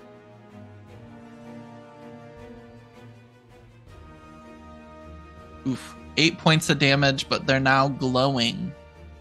hmm Okay, you see Never as this next has you see this light just kind of smash into it, and it, there's this piercing, wailing uh, cry through the water, this gargle of pain. And you see that the blow leaves quite a, a, a deep groove in the scales. It seems to have burned away some of its flesh. So it was a pretty good hit amount of damage. Uh, and it is now outlined in what color? Um, pink. Okay, very nice. All right. Um, as you kind of wheel around to throw that at the red one, can you roll me a perception check? Sure.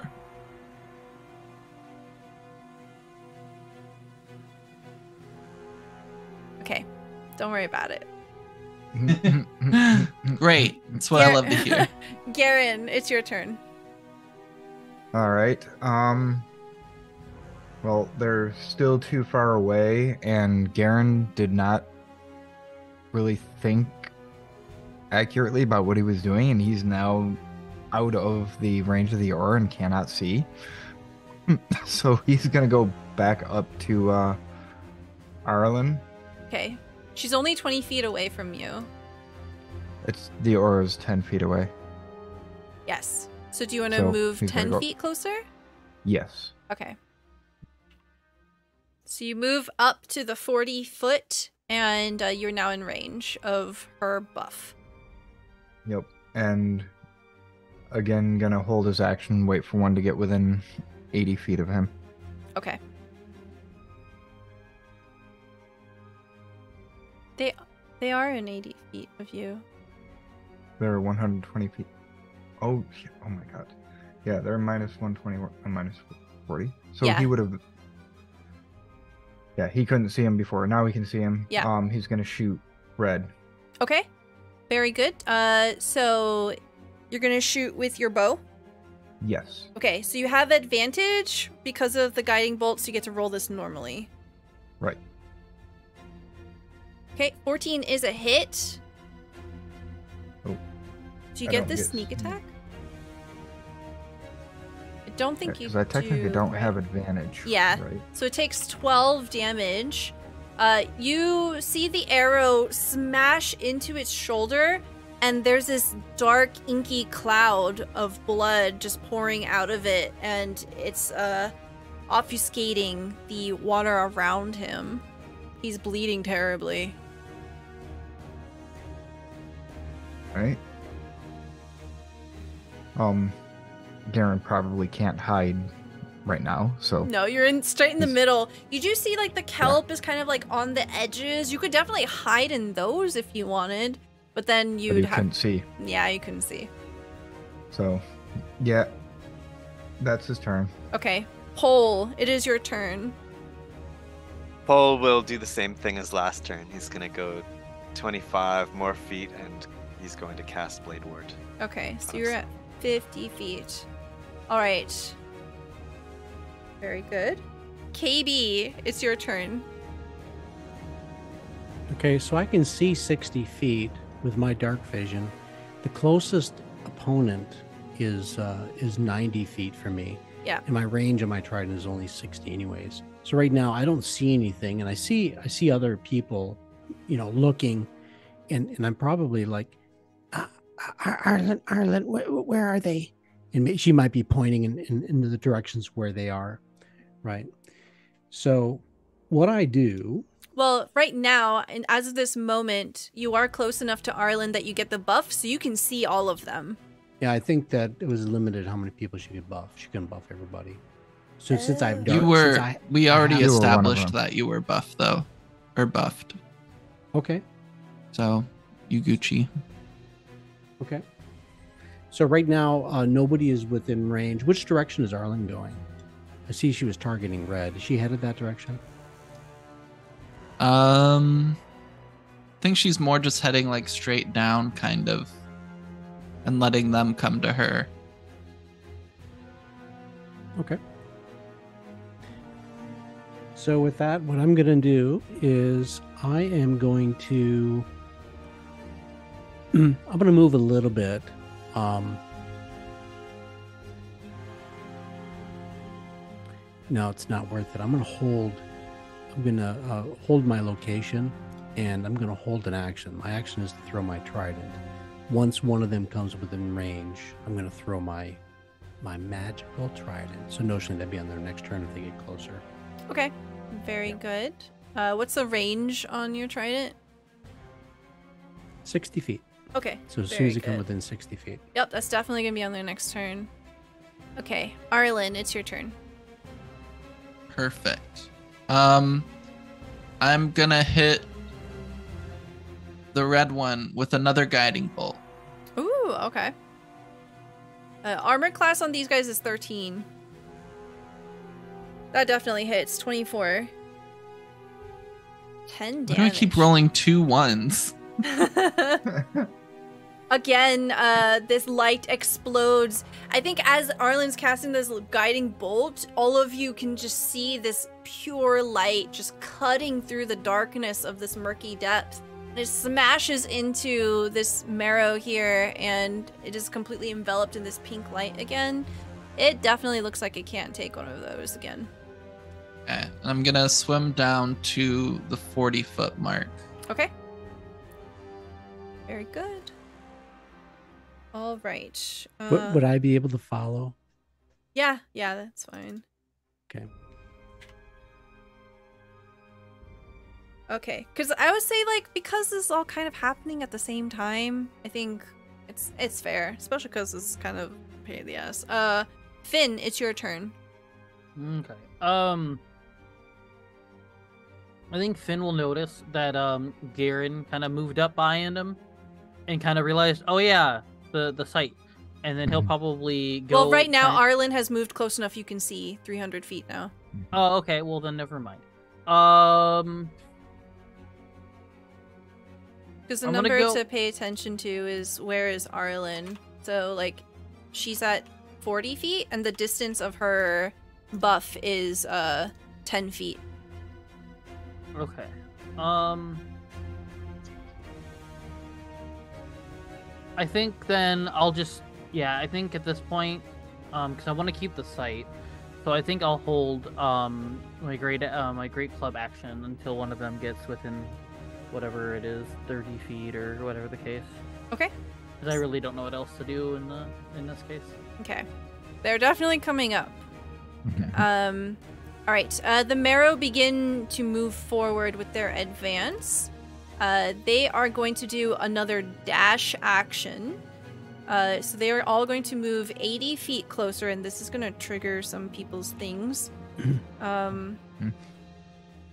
hold on, let me do math here. That make them at 40 feet, right? Yeah. Something like that, I think. Yeah. Yes. Okay. Uh, so, KB, they swim into Yes. range. Excellent. um, now, the the red one, it was just struck by a guiding bolt, right? Mhm. So it is a glow, and I do believe anybody who attacks it would have advantage on the next attack. Yes. Right. So as it comes into range, I think it's probably beyond my normal range. Is that long range? Normally that causes disadvantage, but that'd be offset by the um, the guiding bolt. Yep. So straight straight up attack with my my trident. I, I throw this thing out, and it looks like a twenty-four. Oh my god, that hits. Wow. So 11 points of piercing damage as this thing shunks into it. And as it does, it shimmers for a moment and then shink, it reappears in my hand. It is infused with returning property. That's really good because you Oh. killed it. and it begins to sink.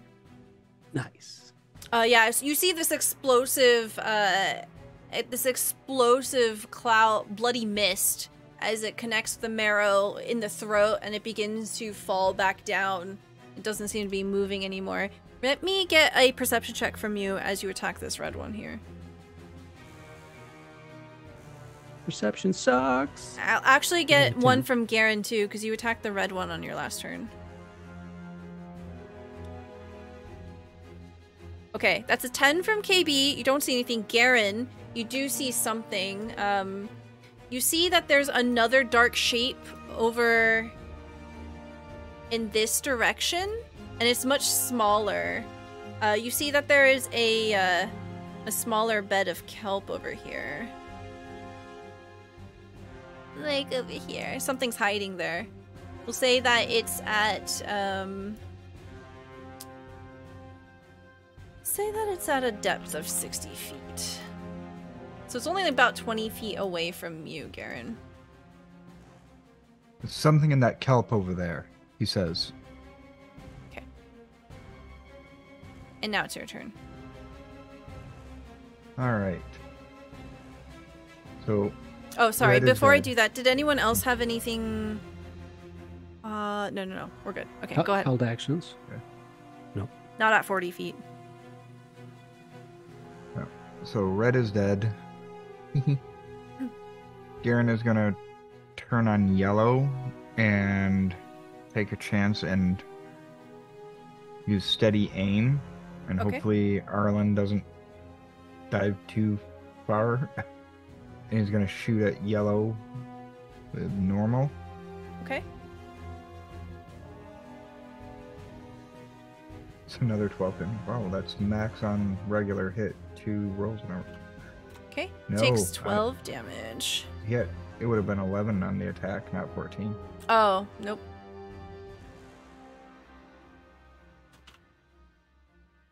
Uh, 11 does not hit. Yeah, you see the Okay. arrow like cut through the air and deftly swims out of the way. Um, yeah, so essentially, those of you who are at 40 feet, they're basically like level with you now. And how far away are they? Uh, now we'll use the actual map plane. So, for example, uh, the yellow one's 25 feet away from Fin. The pink one is 15 feet from you. KB, etc. Sweet. Okay. Um. Yeah. Unfortunately, what does steady aim do for you? It gives you. Gives advantage, but I can't move Gotcha. this round. Okay.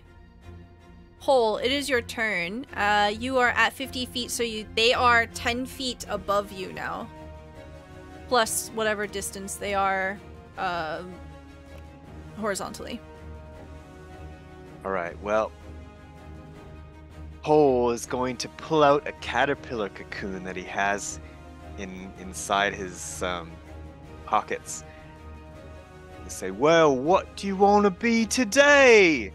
And he's going to uh, start twisting the the caterpillar cocoon open, and he casts his spell on the purple one. Okay. The spell is Polymorph. I'm gonna try and turn him into a starfish. Oh my god, I love this. Okay. That's so cool. Wisdom saving throw. Oh, I need to make it uh, visible.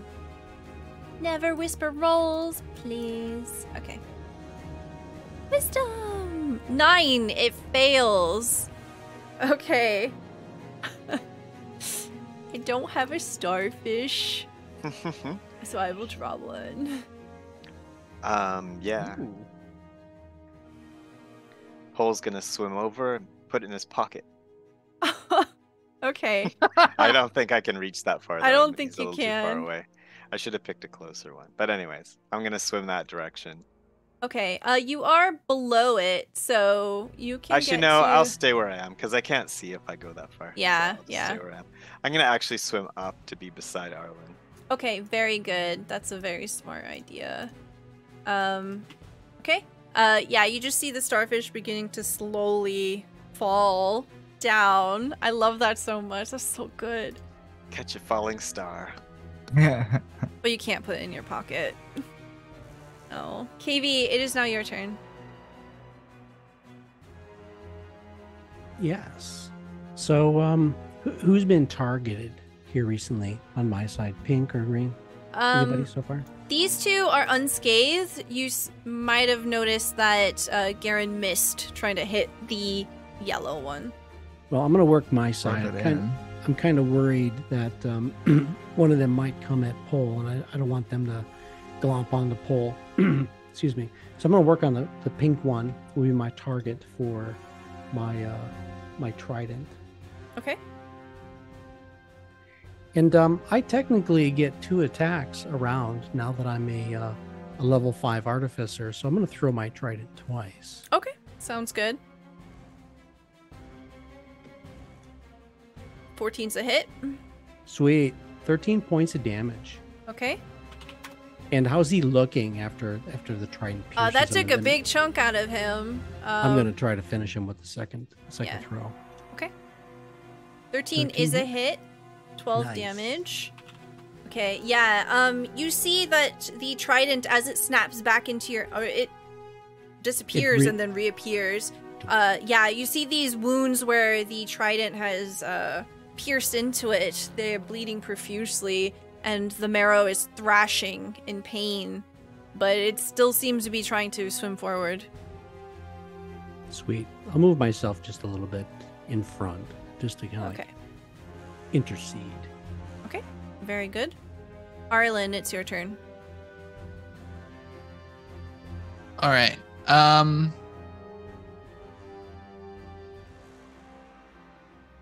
I am going to Eldritch Blast, the one that um KB just hit. Okay.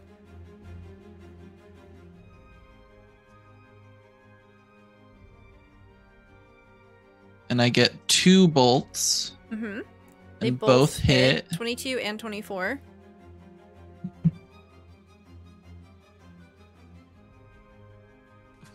I keep rolling ones. Okay, eight points of damage. Okay. That's for both of them? The sea, yeah, the sea lily suddenly like is this spectral form in the water rushing towards um the merrow and crashing into it twice. Very good. Uh, it seems to be confused at this light that's coming towards it. It tries to grab the first one. I think that's why it only does one point of damage because it smashes into their palm and they recoil. The other one hits him straight in the chest. And he seems very winded. Uh, and want to move that's at where all? we'll call my turn. Uh, I'll stay here. Okay. From amidst the kelp here, something moves. It's a Something wicked this way turtle. Comes. Something totally non-threatening.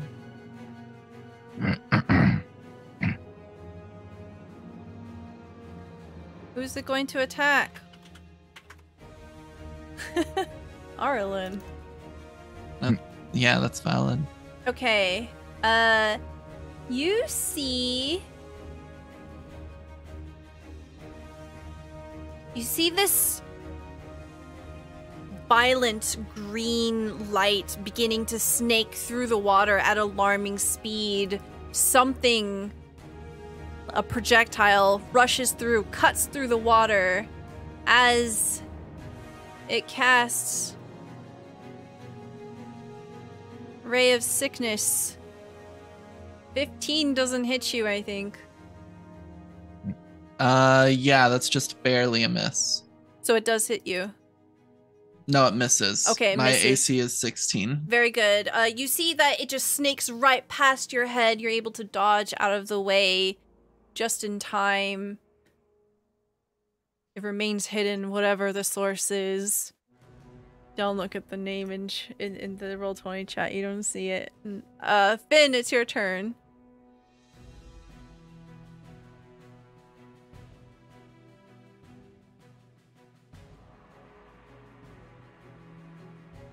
You muted. I'm sorry. Um, I was just looking. So 25 feet. Would that that would be in range for my for my great club, right? Um, Under the water, or do I need to get closer? Great Under the water? Club. I think they have a reach of is it a five or ten? Oh, is it? Unless you want to throw it as an improvised No. weapon. No, no, no, no. Is Great Club Um, one word? It is. yes, it is. It does not have reach, so you have to be within five feet. Ah, okay. Um, well, You can Hmm. you can swim to it. I can swim to it. Um, I think with my me already having some form of dark vision, I won't be completely blind. Um, just Right. not as I just won't be able to see as good. Yeah. So I'll, cause yeah, 20, 25 is not my full movement, right? 25 is your full movement. Hmm. Okay, would I still be able to while hit it, or would. I just be standing next to it? You'd You'd be, be able to- floating next to it, yeah. So you can hit it if you want. Okay, then yeah, then I'll move to, I guess, right here, and then Yep. I'll hit it with my great club. Okay? And you do get two attacks. Right, right, right. Yeah. Yeah, so swing! 21. That hits. Armor class is 13, so it takes 11 bludgeoning damage. Oh, wait. Right. Sorry. These are at disadvantage, but the 19 still hits. Oh, yes, right, yes. Yeah. Okay. All right, and then we'll say canonically that um Fin hit the left side and he's gonna aim for the right side. Kind of do like a Okay. Yeah, yeah. Kind of.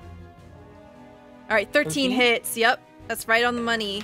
Oh, 13's the money. Okay, I forgot what the money was. Ah, Yeah. cool. Like you, Nice. s- you find as you're swinging, it's so hard to move through the water, all the resistance, but you're able to power through it. You feel your muscles bulging. This is a really cool, epic moment for you.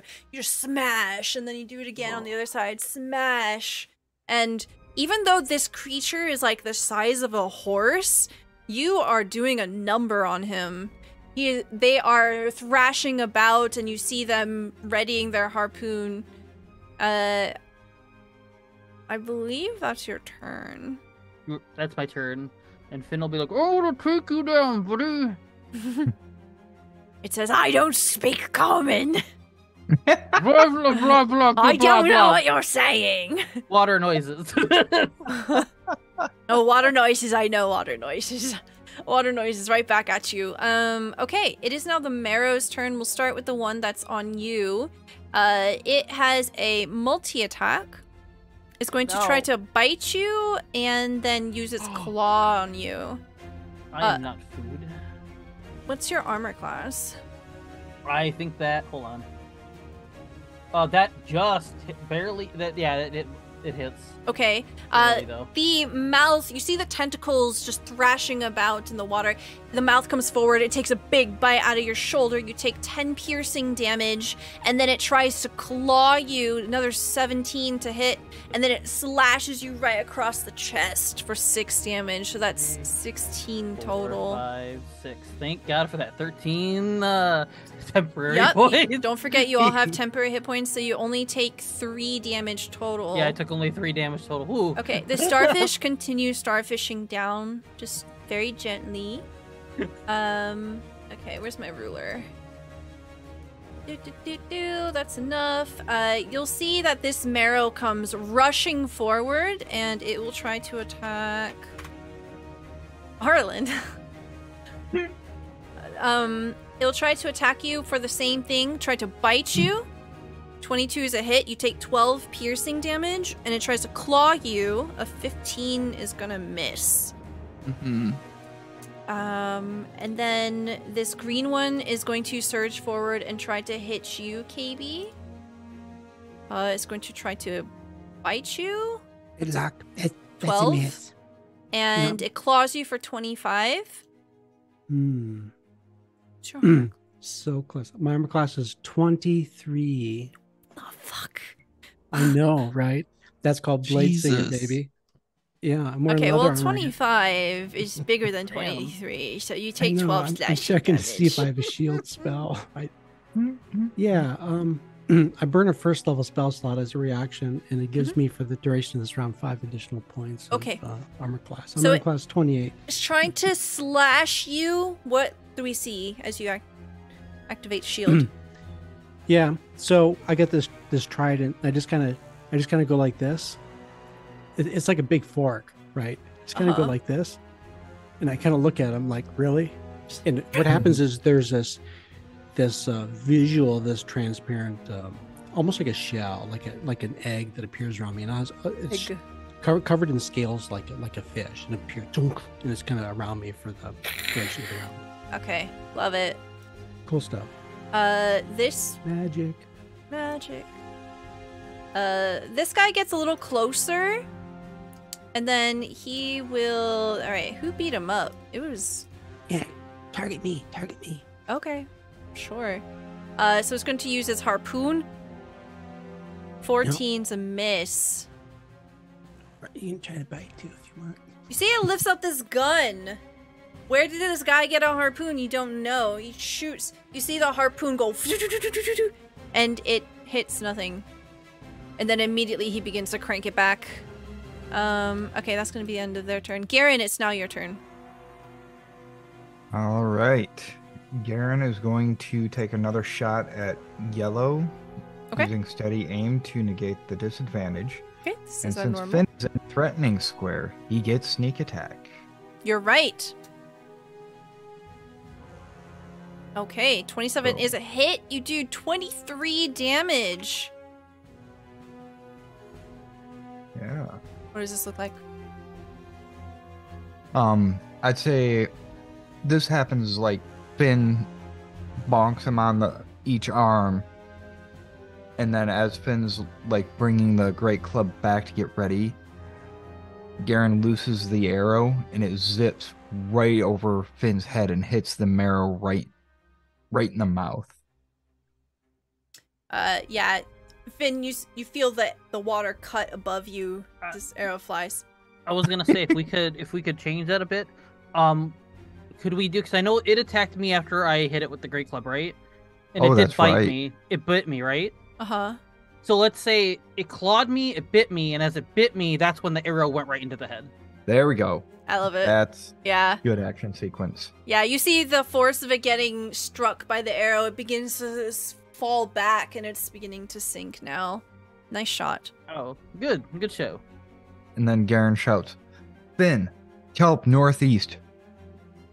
On it. Points this way. Yep. Cool. Pol. It is now your turn. So Pol is going to point at this one here and and do a little come hither come come see me. Come check it out. I got something you might like. And um he's gonna cast enthrall on that guy. Okay. Um, this is a wisdom saving throw. Gets advantage on it. But that doesn't look like it helps. I think that Um, affects multiple creatures of your choice. any creature. Let's see. Within range that can hear you. Creatures of your choice. Yeah, so you can choose to target all three of them if you want. Sure I will. Okay, so that was the green one. Here's the orange one, and here's the pink one. Okay, they all fail. You see, almost synchronized, the heads snap, and they each look right at you, Pol. hmm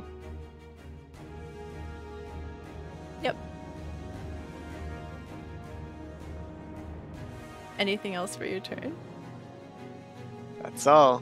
Okay. They're they're on the way. Just you wait. Okay, KB, it's your turn. You see that uh, the merrow in front of you, they all look right at Pol. Does does that give us others some distinct advantage? They have to Someone- try to see you, that's all. So they they're all gonna come after me. You can position yourselves accordingly. so in other words, they they're all now targeting or or going to go towards Mhm. him. Mm-hmm. But but if is they it, want, is they it can an be nice if they aggressive? want. Yeah, it, it it it's not necessarily. Are they No. showing aggressive measures at this point? Hmm. It It doesn't, doesn't say anything about charming them. Doesn't change their attitude or anything. It No. just makes me the most important thing. Yeah. They need to make they get disadvantage on trying to perceive any other creature. So essentially you all kind of fade from view from what they can see and they only see Pol essentially. Okay. It doesn't change what I'm going to do, but it was I want to be sure that I do the right thing. So, Okay. Mr. Pink is going to get my repeated attention. I feel like it would be a fair argument to say, like, if something can't see you, you get advantage. See, it doesn't make them blind. They can see you guys. They just get disadvantaged if they had to try to see you. Okay. So uh, technically, I think you're. They can still see everyone, but if you are hiding, say in the kelp forest, There you go. then it would be. They'd have disadvantage trying to see you in your stealth Yeah, mode. yeah. Okay, that's true. Well, All right. I'm not hiding right now, Mr. Pink. Hmm. So I think a 25 probably hits. The trident lashes out.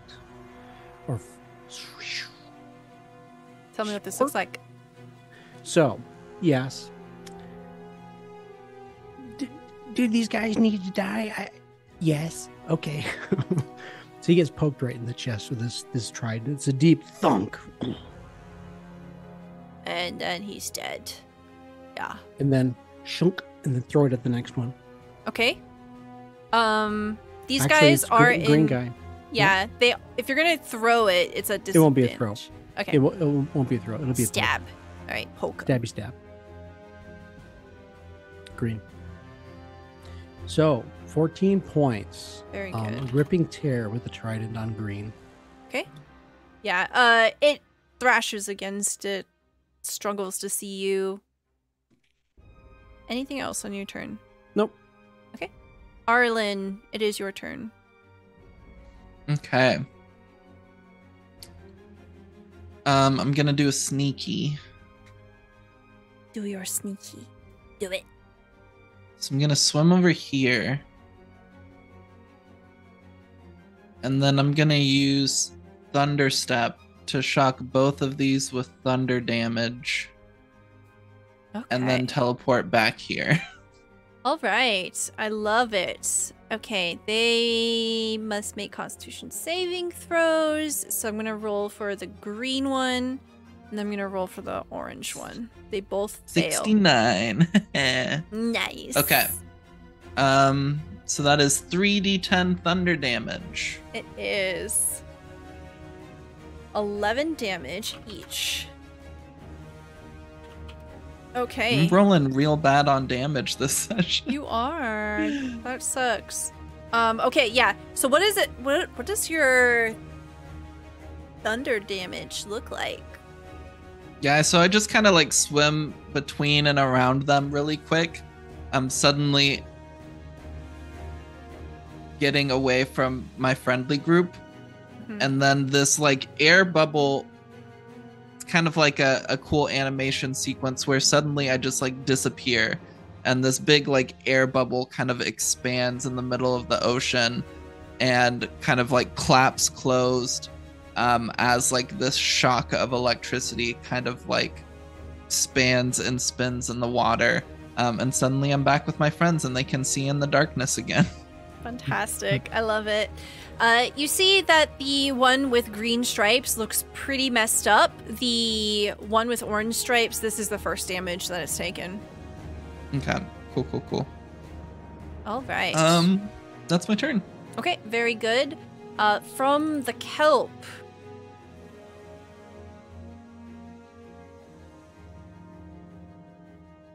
Let's see.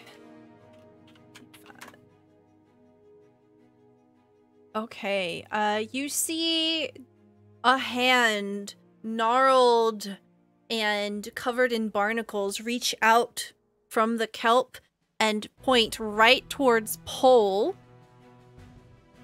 as it casts lightning bolt. Oh shit. Five feet wide blast. Nice. It hits all of. It's going to attempt to hit all of you. Oh, that's so cool. Okay, I need a dexterity saving throw from all four of you. Fin, you're fine.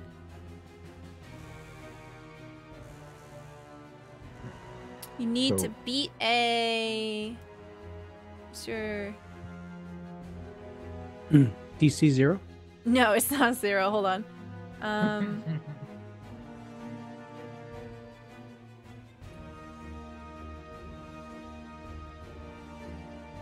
13. Okay. Uh, Arilyn doesn't save. Everybody else saves. So you take half damage. Arilyn takes. Oh, yes, Garen. Garen has evasion, so he takes no damage from that. Okay, awesome. Uh, so everybody else takes half damage. Arilyn takes full damage. We roll 8d6 lightning. That's 18 damage. So Let's go. Bad Wow. rolls. Yeah, yeah, look, ones I- are on Oh your my side God. I rolled so many threes. One, two, three, four, five. I rolled five threes and three ones. Uh, I'll take it. holy- dice. Wow. The dice are just on Arilyn's side of like what one. the heck? three. Okay, Arilyn takes eight. Everyone else takes 18. Garen takes zero. You see this lightning bolt. It shoots out this red crack of color and burning magic as it rips through the ocean. Oh, that Merrow needs to roll a dexterity saving throw too. Oh yeah. Oh, he fails. Zorch. Okay. Um. Yeah. Uh, you see that the merrow on the opposite side of you, Arilyn, as you dive out of the way, uh, you see that where you had been, it just cra- lightning cracks through and it smashes directly into the chest of this merrow here. He takes full damage. Does not look very good. Now they both look fucked up. Nice. Fin, it's your turn. You saw the Um, kelp I took- shoot. Yep. Damage, so I have to make a concentration save to keep my um, polymorph spell up. Oh. So I'll Yes, do that right please now. do that. Sorry. We're good. Good. 21. You're good. All right, Fin, you just saw the kelp over there shoot some lightning and it hit all your friends except Garen. Garen's fine. Garen's always fine. Um, I'll um, kind of as he's kind of he, I'll just say that he had like pointed me in the other direction, then dodged the thing, um, or took no damage, and then I will just swim, because I'm assuming when he pointed in a direction, I'm assuming in my mind it's the same thing that the the light came from. So in my mind, because I'm not sure with my dark vision if I could couldn't see it all that much. So I'm you can see the making the assump- direction, so it's fine. Okay, yeah. So all right, then I'll just go ahead and head in that direction as much as I can. Okay? Uh, whatever, however long, yeah. Uh, 25 feet will get you halfway there. You can use a dash, which will eat up your action, and you'll be right there in front of it. Okay, we'll just do that then. Okay? So you get to, you swim right up to the front of it, and because you're right close here, enough, or- yeah, because you're close Okay. enough, you can see that there is some sort of humanoid here. Uh, they're definitely some kind of monstrous being. Uh, But they're let me try hidden in the kelp. Let me try this again. Uh, A history check? yeah, Um, just try to see if I know what it is. yeah, I'm, with an I'm good at history. Yeah, with an 18 history, I'll say you realize that this is a hag. Oh boy. Yeah, oh, oh, fantastic. Actually. what he'll say to himself. this?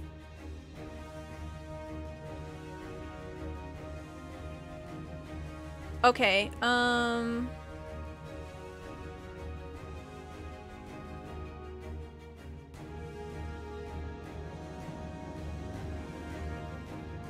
All right, I think this is applicable. Uh, so horrifying appearance will trigger as you're close enough to see the hag now.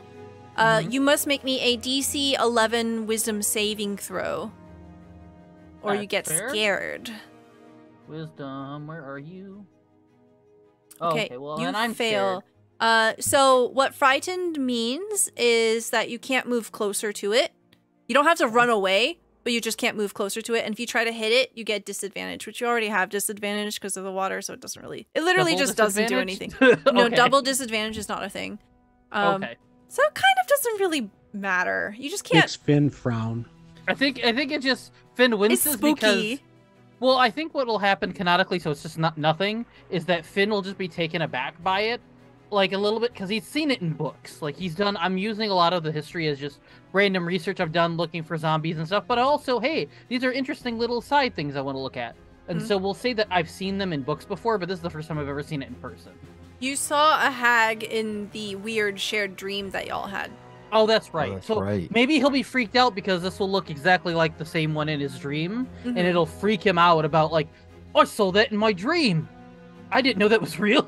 so it's like just Yeah, yeah. This close- is the first time you're seeing one in the flesh, so to speak. yeah, Makes yeah, yeah. Okay. Um. So you use your action to move Mhm. forward. Okay. It is now the Merrow's turn. Uh, we'll see that this they're they're enthralled, so they're going to try to hit Pol. Uh, the orange one is going to try to bite you, Pol. What is your armor class? 12. 12. Okay, 13 hits you. That's 8 piercing damage. Go ahead and roll me a constitution saving throw, please. 16. Okay, it continues. Uh, and then it claws at you with 19, so you take 6 slashing damage. I believe you have to do a constitution save for every Yeah. source of damage you take. Okay, and then it fails. Uh, Uh, so you lose control of your polymorph spell here as you take 14 slashing and piercing damage. Um, this one here is going to try to look at KB. Uh, so it has disadvantage on a perception check here. Oops, this is the wrong sheet. Why am I looking at that? Perception is a wisdom. Five. It doesn't see you, KB. Uh, so it's going to try to swim around uh, to pull. You get an attack of opportunity here, KB. Sweet. Thank you very much. Okay. Uh, it takes Get his attention. 10 damage. Um, okay. Uh, and then because you hit it, I think it's going to try to hit you at disadvantage here. We'll just do a quick little bite. 17 doesn't hit you. Nope. All right. Um, that's going to be the end of its turn. Garen, you're up. All right. So Garen is hmm. He knows what's in the kelp is a bigger threat, but he also can't see it yet. You cannot.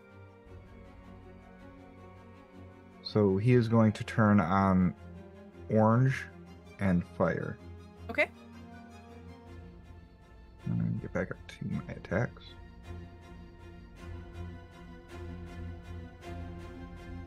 A 16. Okay. 16 is a hit. 26. All right. It is dead.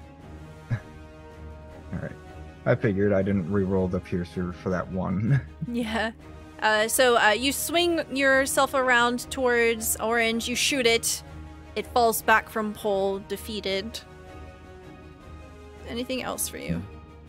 Uh, no. And Garen used steady aim there, so no movement. Okay. Pol, it is your turn. Uh, I will say because you your polymorph were off, that you just have a sense of like the creature down there. You see that this merrow is not swimming up. It is. We'll say that it fell like ten feet. Uh, so it is uh now ten feet underneath you. Uh, it's only fallen a little bit here. Uh, the merrow is beginning to swim down. It's running away. That's an appropriate response. um, Pol is just going to cast um, Blade Ward, and then go get in this guy, this other guy's face. Okay. He'll swim around over here. Okay. Sounds good. KB. So I was kind of worried about Pol because he got he got hit. How bad does Pol look? Is he bleeding badly? No, it was almost all temp hit points. Okay, cool, cool. I'm glad for that. That was one Okay, so I- really good heckin' speech. Yeah. So I swing around with the trident. I'm going to poke the green one before he can hurt my friends. Okay. Wow, that's a nat 20. What the? That's a critical. So all the the pluses. it has 10 hit points. You kill it. So so what does this look like? I, I think it the the trident whooshes through the creature's neck, and there's there's this massive tear. So it's a very visual and gory. And the trident arcs around and, and flies back into my hand. And then I turn, and my second attack, I sh- I, I want to throw it at this one over here that's running away. Okay. It's pro- it's probably at the extent of my range, so it'd be at disadvantage. But I'm internally inspired by this this uh, what appears to be an emerging victory. Okay. Yeah. Uh, that's a hit. Actually, that I need to roll it again because it's be a disadvantage. Oh, okay. It's only a 26. Okay. Uh, it still hits. Um. Only. So I- I poke it in the butt. Yeah, for on the butt 14 cheek. damage. Cheek. Okay. Yeah. It leaves a trail of blood as it's continuing to flee. Yeah, yeah. Run away. Okay. Arilyn, it's your turn.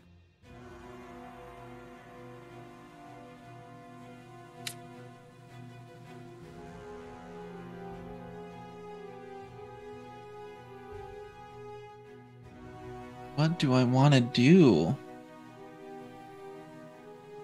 What do you want to do?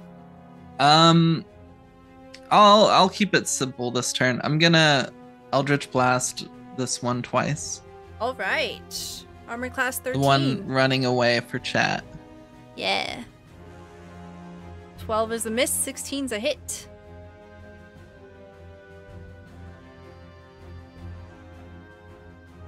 All right. Eight points of damage. Eight damage. You, your uh, little sea lily smash into its backside.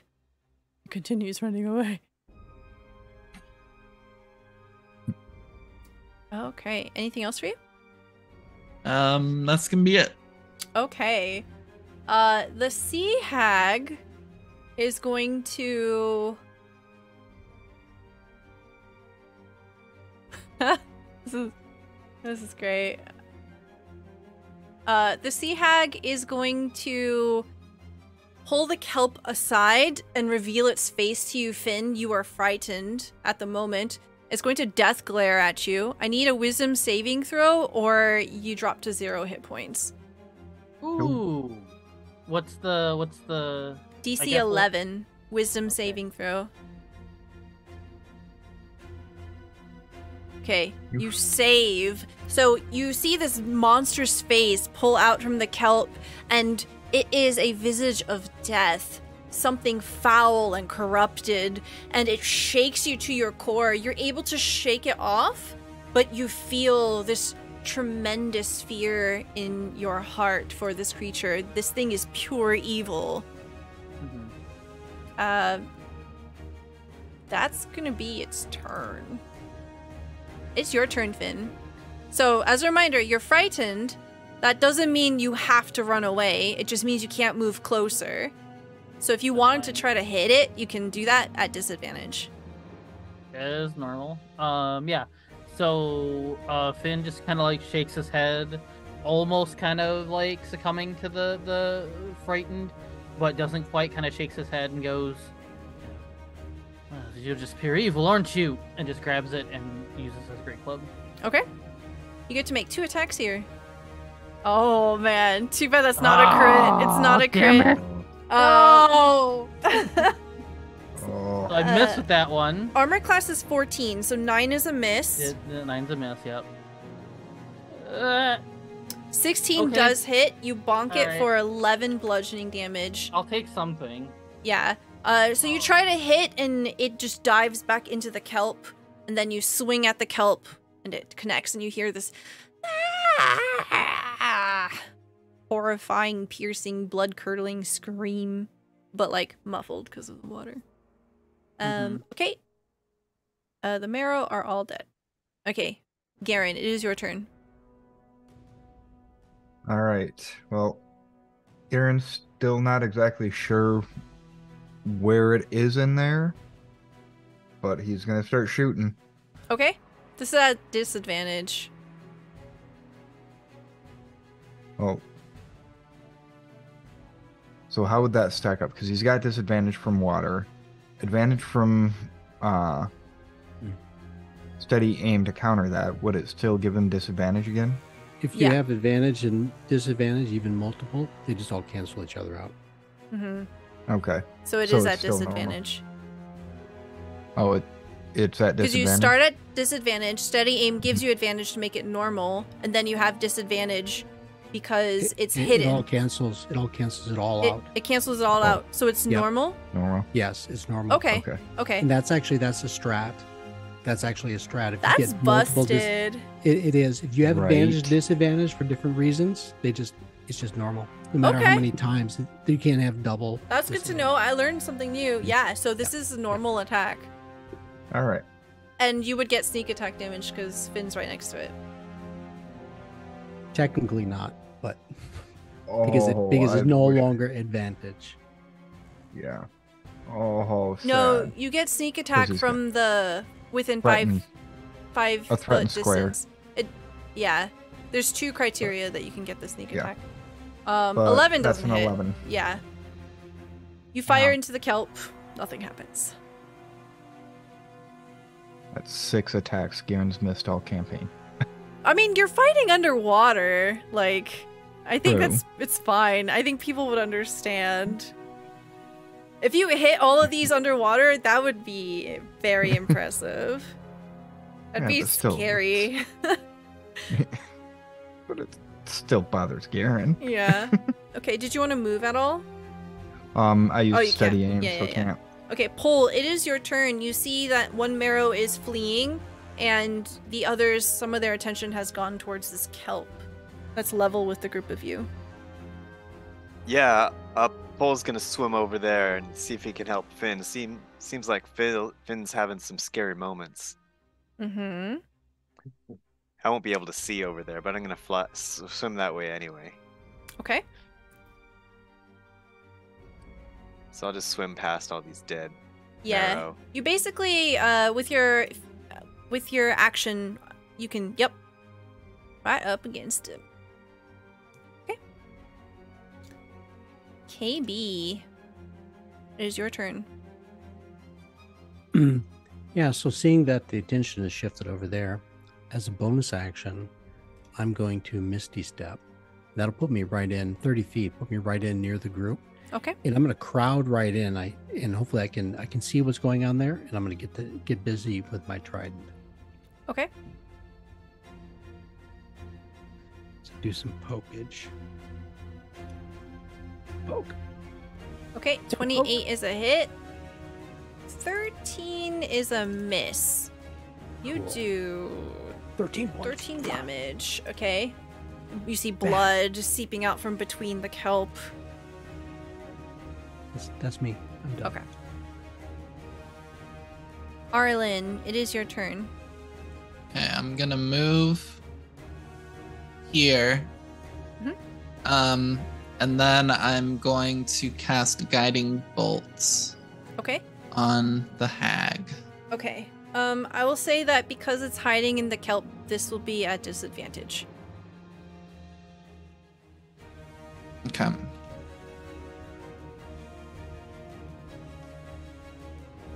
Okay, 18, 18. hits.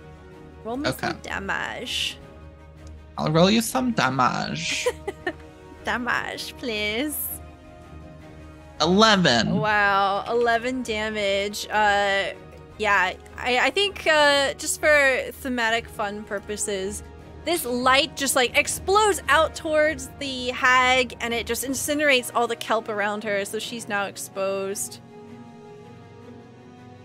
And she is positively glowing. She is. Oh my god.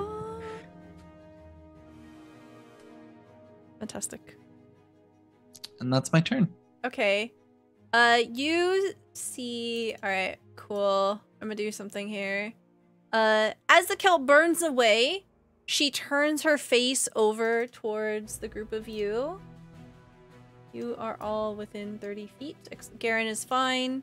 Uh, she will do hor- horrific appearance here. I need a DC 11 Wisdom saving throw from Pol, from KB, and from Arilyn. Doesn't that happen at the beginning of our turn? Uh, we're this is just just role playing, yeah. It's- okay. Because that kelp, works. yeah, kelp's gone. Um, okay. Uh, Pole say you all save. Okay. Uh, in this moment, as you all witness the horrific appearance of this hag, uh, you are all able to shake it off and see through it. You know that this is a monster, and you're able to tell, like, this is definitely some kind of magic afoot here. And in this moment, KB, as she locks eyes with you, you find a moment of clarity, a moment of silence amidst the battle. You have drawn the Vizier card. Mm-hmm. What kind of dark secret would you like to glean from this hag in this moment of desperation as it looks at you? It's I want- dying. I want to know the the ultimate secret uh, weakness of the Sahuagin camp. Ooh, that's fun. Does she know that? She's she's a boss. She's an undersea boss. She knows all that. Roll for this. Okay. Uh you discover that the Sahuagin have sank the fortress. The island that the fortress used to be on has been felled in some manner. So you will find that the fortress is partially submerged.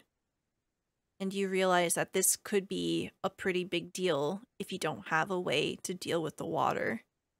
And and and uh, I I discovered the secret to get in there. I did I did want to know the secret. That's all she knows. She's never been inside of it, but she has seen it from afar. very good, very good. Okay, cool. That was uh that was her turn. Fin, it's your turn. Um, Fin is going to bonk it on the head. Okay. 19 is a hit, 5 bludgeoning damage. Yet another attack here. Alright, tell me what this looks like, Fin. Um, so after all of the like distractions, and I think the kelp being destroyed kind of spooked her a bit. So I think I was able to get in two like really lucky shots. So she was already sort of damaged, and I just think the the, the last shot kind of just like knocks her silly, and then I can let you take from whatever there if she just sinks or whatever. But um, we'll just say that at the very least I knocked it out. Okay. Well, do you want to kill the hag or do you want to knock it out? Um, you know what? If it was Fin, probably kill. Okay. The hag he, is he, slain. he looks at it as evil, so yeah. It is very evil. The hag falls back into the stubs of what used to be this small cluster of kelp here, and there's a moment of stillness around you as the battle comes to an end. Uh, the merrow here is still fleeing. Uh, we don't have to worry about initiative here. Is the intent of the party to chase it down to slay it, or would you like to stay here? I think it can swim faster than us. So It's swimming very fast. Let it go. Let's continue looking for treasure, I say. Okay. It escapes and i don't know how to, to delete that starfish that starfish is not here um essentially you find that each of the sahag uh, the merrow here begin to sink deep deep deep down and they fade from view you find that there are clusters of kelp all around you if you want to swim horizontally and there's also the, the blue hole that stretches out beneath you Garen is sticking by Arilyn. So um we can search the kelp real quick and then keep swimming down, I guess. Right? Yeah, they might have some treasure for us. okay Oh yeah. If uh any of the uh Merrow's harpoon guns are still on on or near them, he's gonna grab one of them. And the ammo. All, all of them, two fisted. They're all falling through the water Yeah. Oh well. Okay. Um all right. As the group of you begin to pick through the kelp here, you find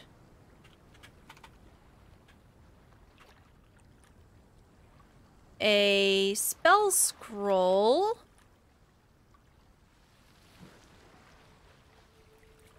And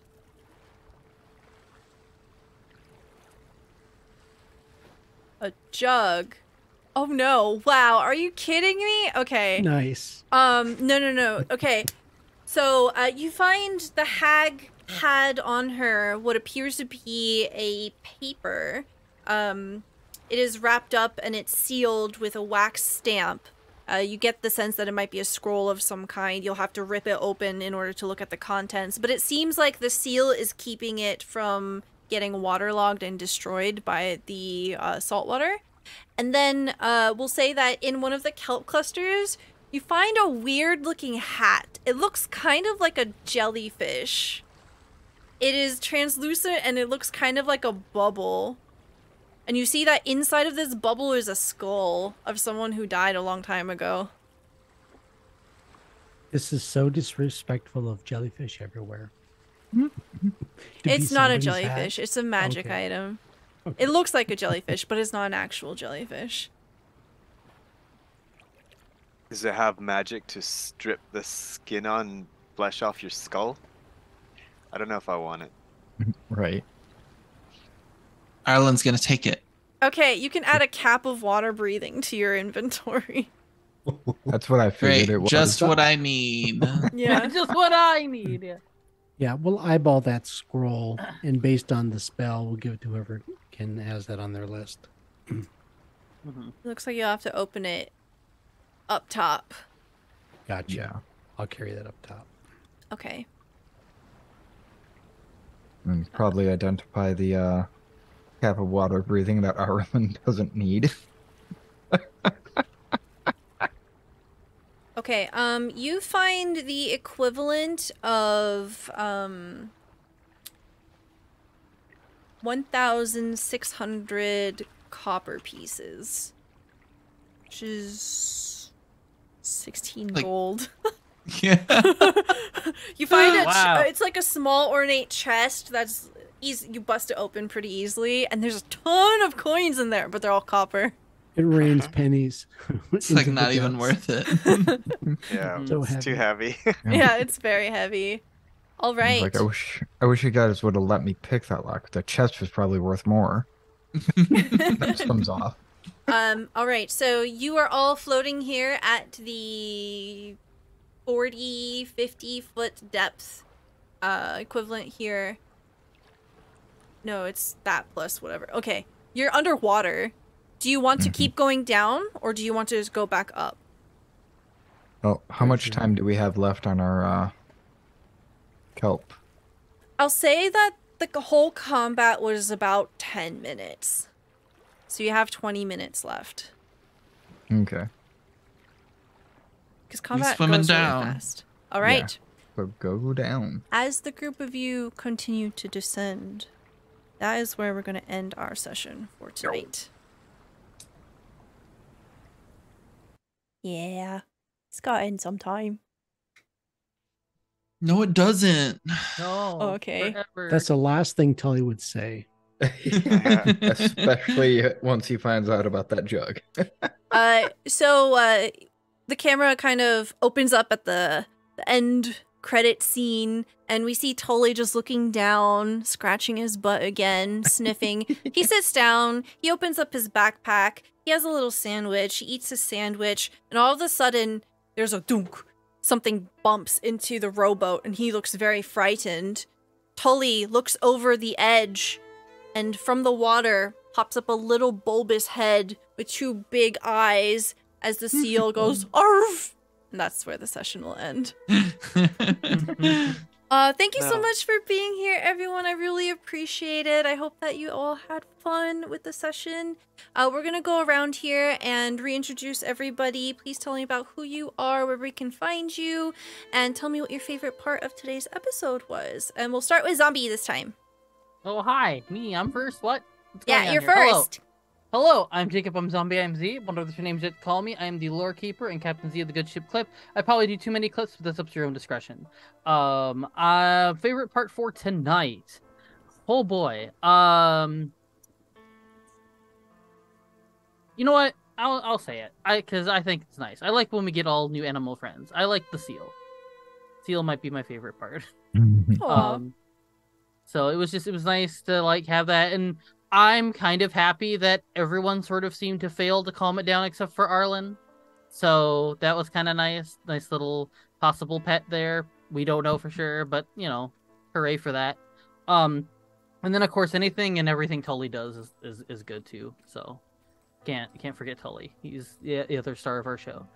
Um, but yeah, you can find me on Twitter at ZombieFighter89 if you're so inclined. Um, if you go there, there's a pin tweet made by the lovely Lady May. Uh, you should go follow her as well. Greatness everywhere. Um, I have a pin tweet, and that is a business card that was made by her. I do video editing, audio editing, Twitch clips. If that's something you or you know someone who would like that, I am hireable. So come come find me there. Um, and then as well, um, I know probably this will be promoted at the end, but uh, I, as well as I think everybody uh, else here, is part of Stella's Discord. If you want to come hang out and chat about tonight's show or any other stuff we do there, all the cool stuff that Stella does on this channel and various others will all be there. So just come in and join the adventure. Thank you for the shout out. I really appreciate it. Also, hi Raiders, welcome on in. Thank you so much. Hi, Raiders. Hello. Sorry, we're buttoning up and ending here in a little bit. We're doing some outros and decompression. Uh, we'll hop on over to John. Tell me about you. Hello there, I'm John. I'm also known as Endycarus on the World Wide Web, and pretty much anything that you can be a member of, I make myself a member of and call myself Endycarus on it, so you'll be able to find me easy. Um, I, uh, where else can you find me? Well, I, uh, I, I recently was uh, at Virtual GaryCon, and I was involved in a uh, filmed session there. That's I guess on YouTube um, for playing something called uh, Dice Songs, and I was also on there with uh, some of the guys from Blue Box RPG, as some of you may know. They're very, very funny. It's not safe for work humor, some of it, but it was a good one. So yeah, search that out, Dice Songs, and on YouTube you'll probably find it. They're they're exceptionally great, and I was sometimes funny too. Um, my favorite part of today, um, I I actually really liked the storm, and I wanted us to go into it, but it it was uh, it was fun that that we just you know just sidestepped this amazing um, pattern of nature where we could have potentially all been transformed into demigods by this amazing magic, but we were scared of it. Boo for us. But it still was pretty fun to have uh, Cole see that, and I'll try and remember to write a song about it someday. Amazing. Oh, God. The storm was a really cool thing. Uh, I can't remember who rolled, but that was what the roll was for. What kind of storm it is. I I Oh. rolled the twenty. Yes, yes. Thank you, thank you. It- It was good. It was good. It was very for- smart that y'all didn't stay in it. Yeah. That's the really. Yeah, because I I believe that's the second most dangerous storm out of the list of storms. But it could Oh be something God. good, though, right? Yeah. No? Maybe. Uh, Uh, maybe. I don't know. We'll hop on over to Godfather Wraith. Hey, I'm Godfather Wraith. I pretty much have no social media presence whatsoever. Um, maybe someday I'll brush off my social media, but I doubt it.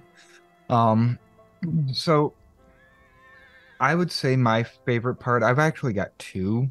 One was uh Garen and KB getting to uh flex some of our big stats or big skill rolls today. That was fun. Um and also KB really showing some teeth in combat. Yeah. So that was that was fun to see too. Excuse me, Mr. 23 AC. That is wild. No kidding. What the? That was before the shield. Yeah. What the heck? Hmm. Amazing. Thank you so much. And then Geek Dice. What's up? Yeah, hey folks, I'm Geek Dice or Sean, and this is where I dwell on the internet. Uh, I dwell Wednesdays here. Um, yeah, great, great times. Definitely a lot of fun with the combat today. I think my two favorite moments were were that combat. You, you know, I um I planned a very specific build for KB being multi-class artificer wizard and now he's branching into fighter and really in the last level or two it's really come together it capitalizes on intelligence of course he's running with max possible character intelligence due to good fortune and a and a uh, supportive dm so um yeah exploit break the game a little bit a little bit so Uh, i'm really I- excited I totally encourage everyone to break the game. Like, just have fun with it. You know, make sure that everyone else is having fun too, and Yep. go wild. Tell a cool Yeah, so- story.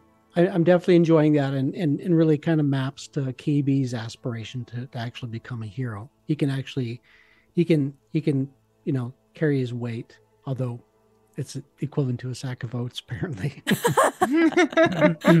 so so that was enjoyable. That was very definitely something I was uh, got my parking stamped on that. So glad for that. And the other thing today, again, that back to the storm, really with with Pol up in the crow's nest is as storm developed around him. You know, that was kind of in a lot of ways kind of iconic for who is Pol. He's weathering this storm of all the all, all these these crazy chaotic people violent people and he's he's a person who's trying to to live in peace and, and bring peace and, and, and really represent that. You know that's that's really strong symbolism there. And to, to think that he's inspired possibly towards song you know that that's that's awesome. That really kind of moved me. So i i, I really appreciate that moment. That was great. Thank you so much. And then Emma. Hi, it's me, Emma, also known as Emma Panada. You can find me on Twitch and Twitter at Emma Panada. I'm also writing a TTRPG called All the Witches. It's on Kickstarter right now. We're getting close to another stretch goal. So uh, please give it a look. It's really, really cool. Um, and if you like it, please consider supporting us. Hey Um, Emma, what is all the witches? All the Witches is an original tabletop role playing game um, that uses some deck building mechanics as well as dice um, to explore the diversity and complexity of fantasy witches. Um, so the idea behind it was um, fuck turfs, let's make a queer book. Um, so if that sounds appealing to you, uh, check it out. Um, it's written by um, BIPOC and queer creators, and it's really cool. And I'm looking forward to getting it out to everybody. Um, but yeah, uh, my favorite part, the storm was so fucking cool. Um, I wasn't sure if we were supposed to like crash into it or like what the plan was, but but it was really cool and I really liked it. Um, I I've never thought of a magic storm before where storms are different kind of like um kinds of magic and a transmutation storm where everything's just changing suddenly is super super cool. Excellent. Thank you very much. I'm Stellaluna. If you've enjoyed the content that you've seen here, please consider giving us a follow, following us on YouTube. That's a free way you can support us and get notifications for when we go live and have uploads. Uh, we will be back here next next Wednesday at 8 p.m. Eastern Time for Secrets of Saltmarsh. Next Wednesday, we have our uh, Frostmaiden campaign, so please come check us out at 8 p.m. Eastern Time as well. You'll find both Zombie Fighter and Geek Dice in that one. Um, my favorite part, uh, I liked the part where we got to roleplay a little bit with Imloth and Arilyn. I want to try to spend more time to flesh out these moments with the NPCs on your crew to show little glimpses of their life of like who they were and like what their interests are and uh, i think i'm going to try to incorporate that some more moving forward especially as we have these in between moments of like we're traveling we're on the boat for a couple of hours or days and um trying to build relationships from that and perhaps even potential drama um but yeah thank you so much for being here everyone really really appreciate it Hope you have a wonderful rest of your evening, and we'll see you next time. Bye, everybody!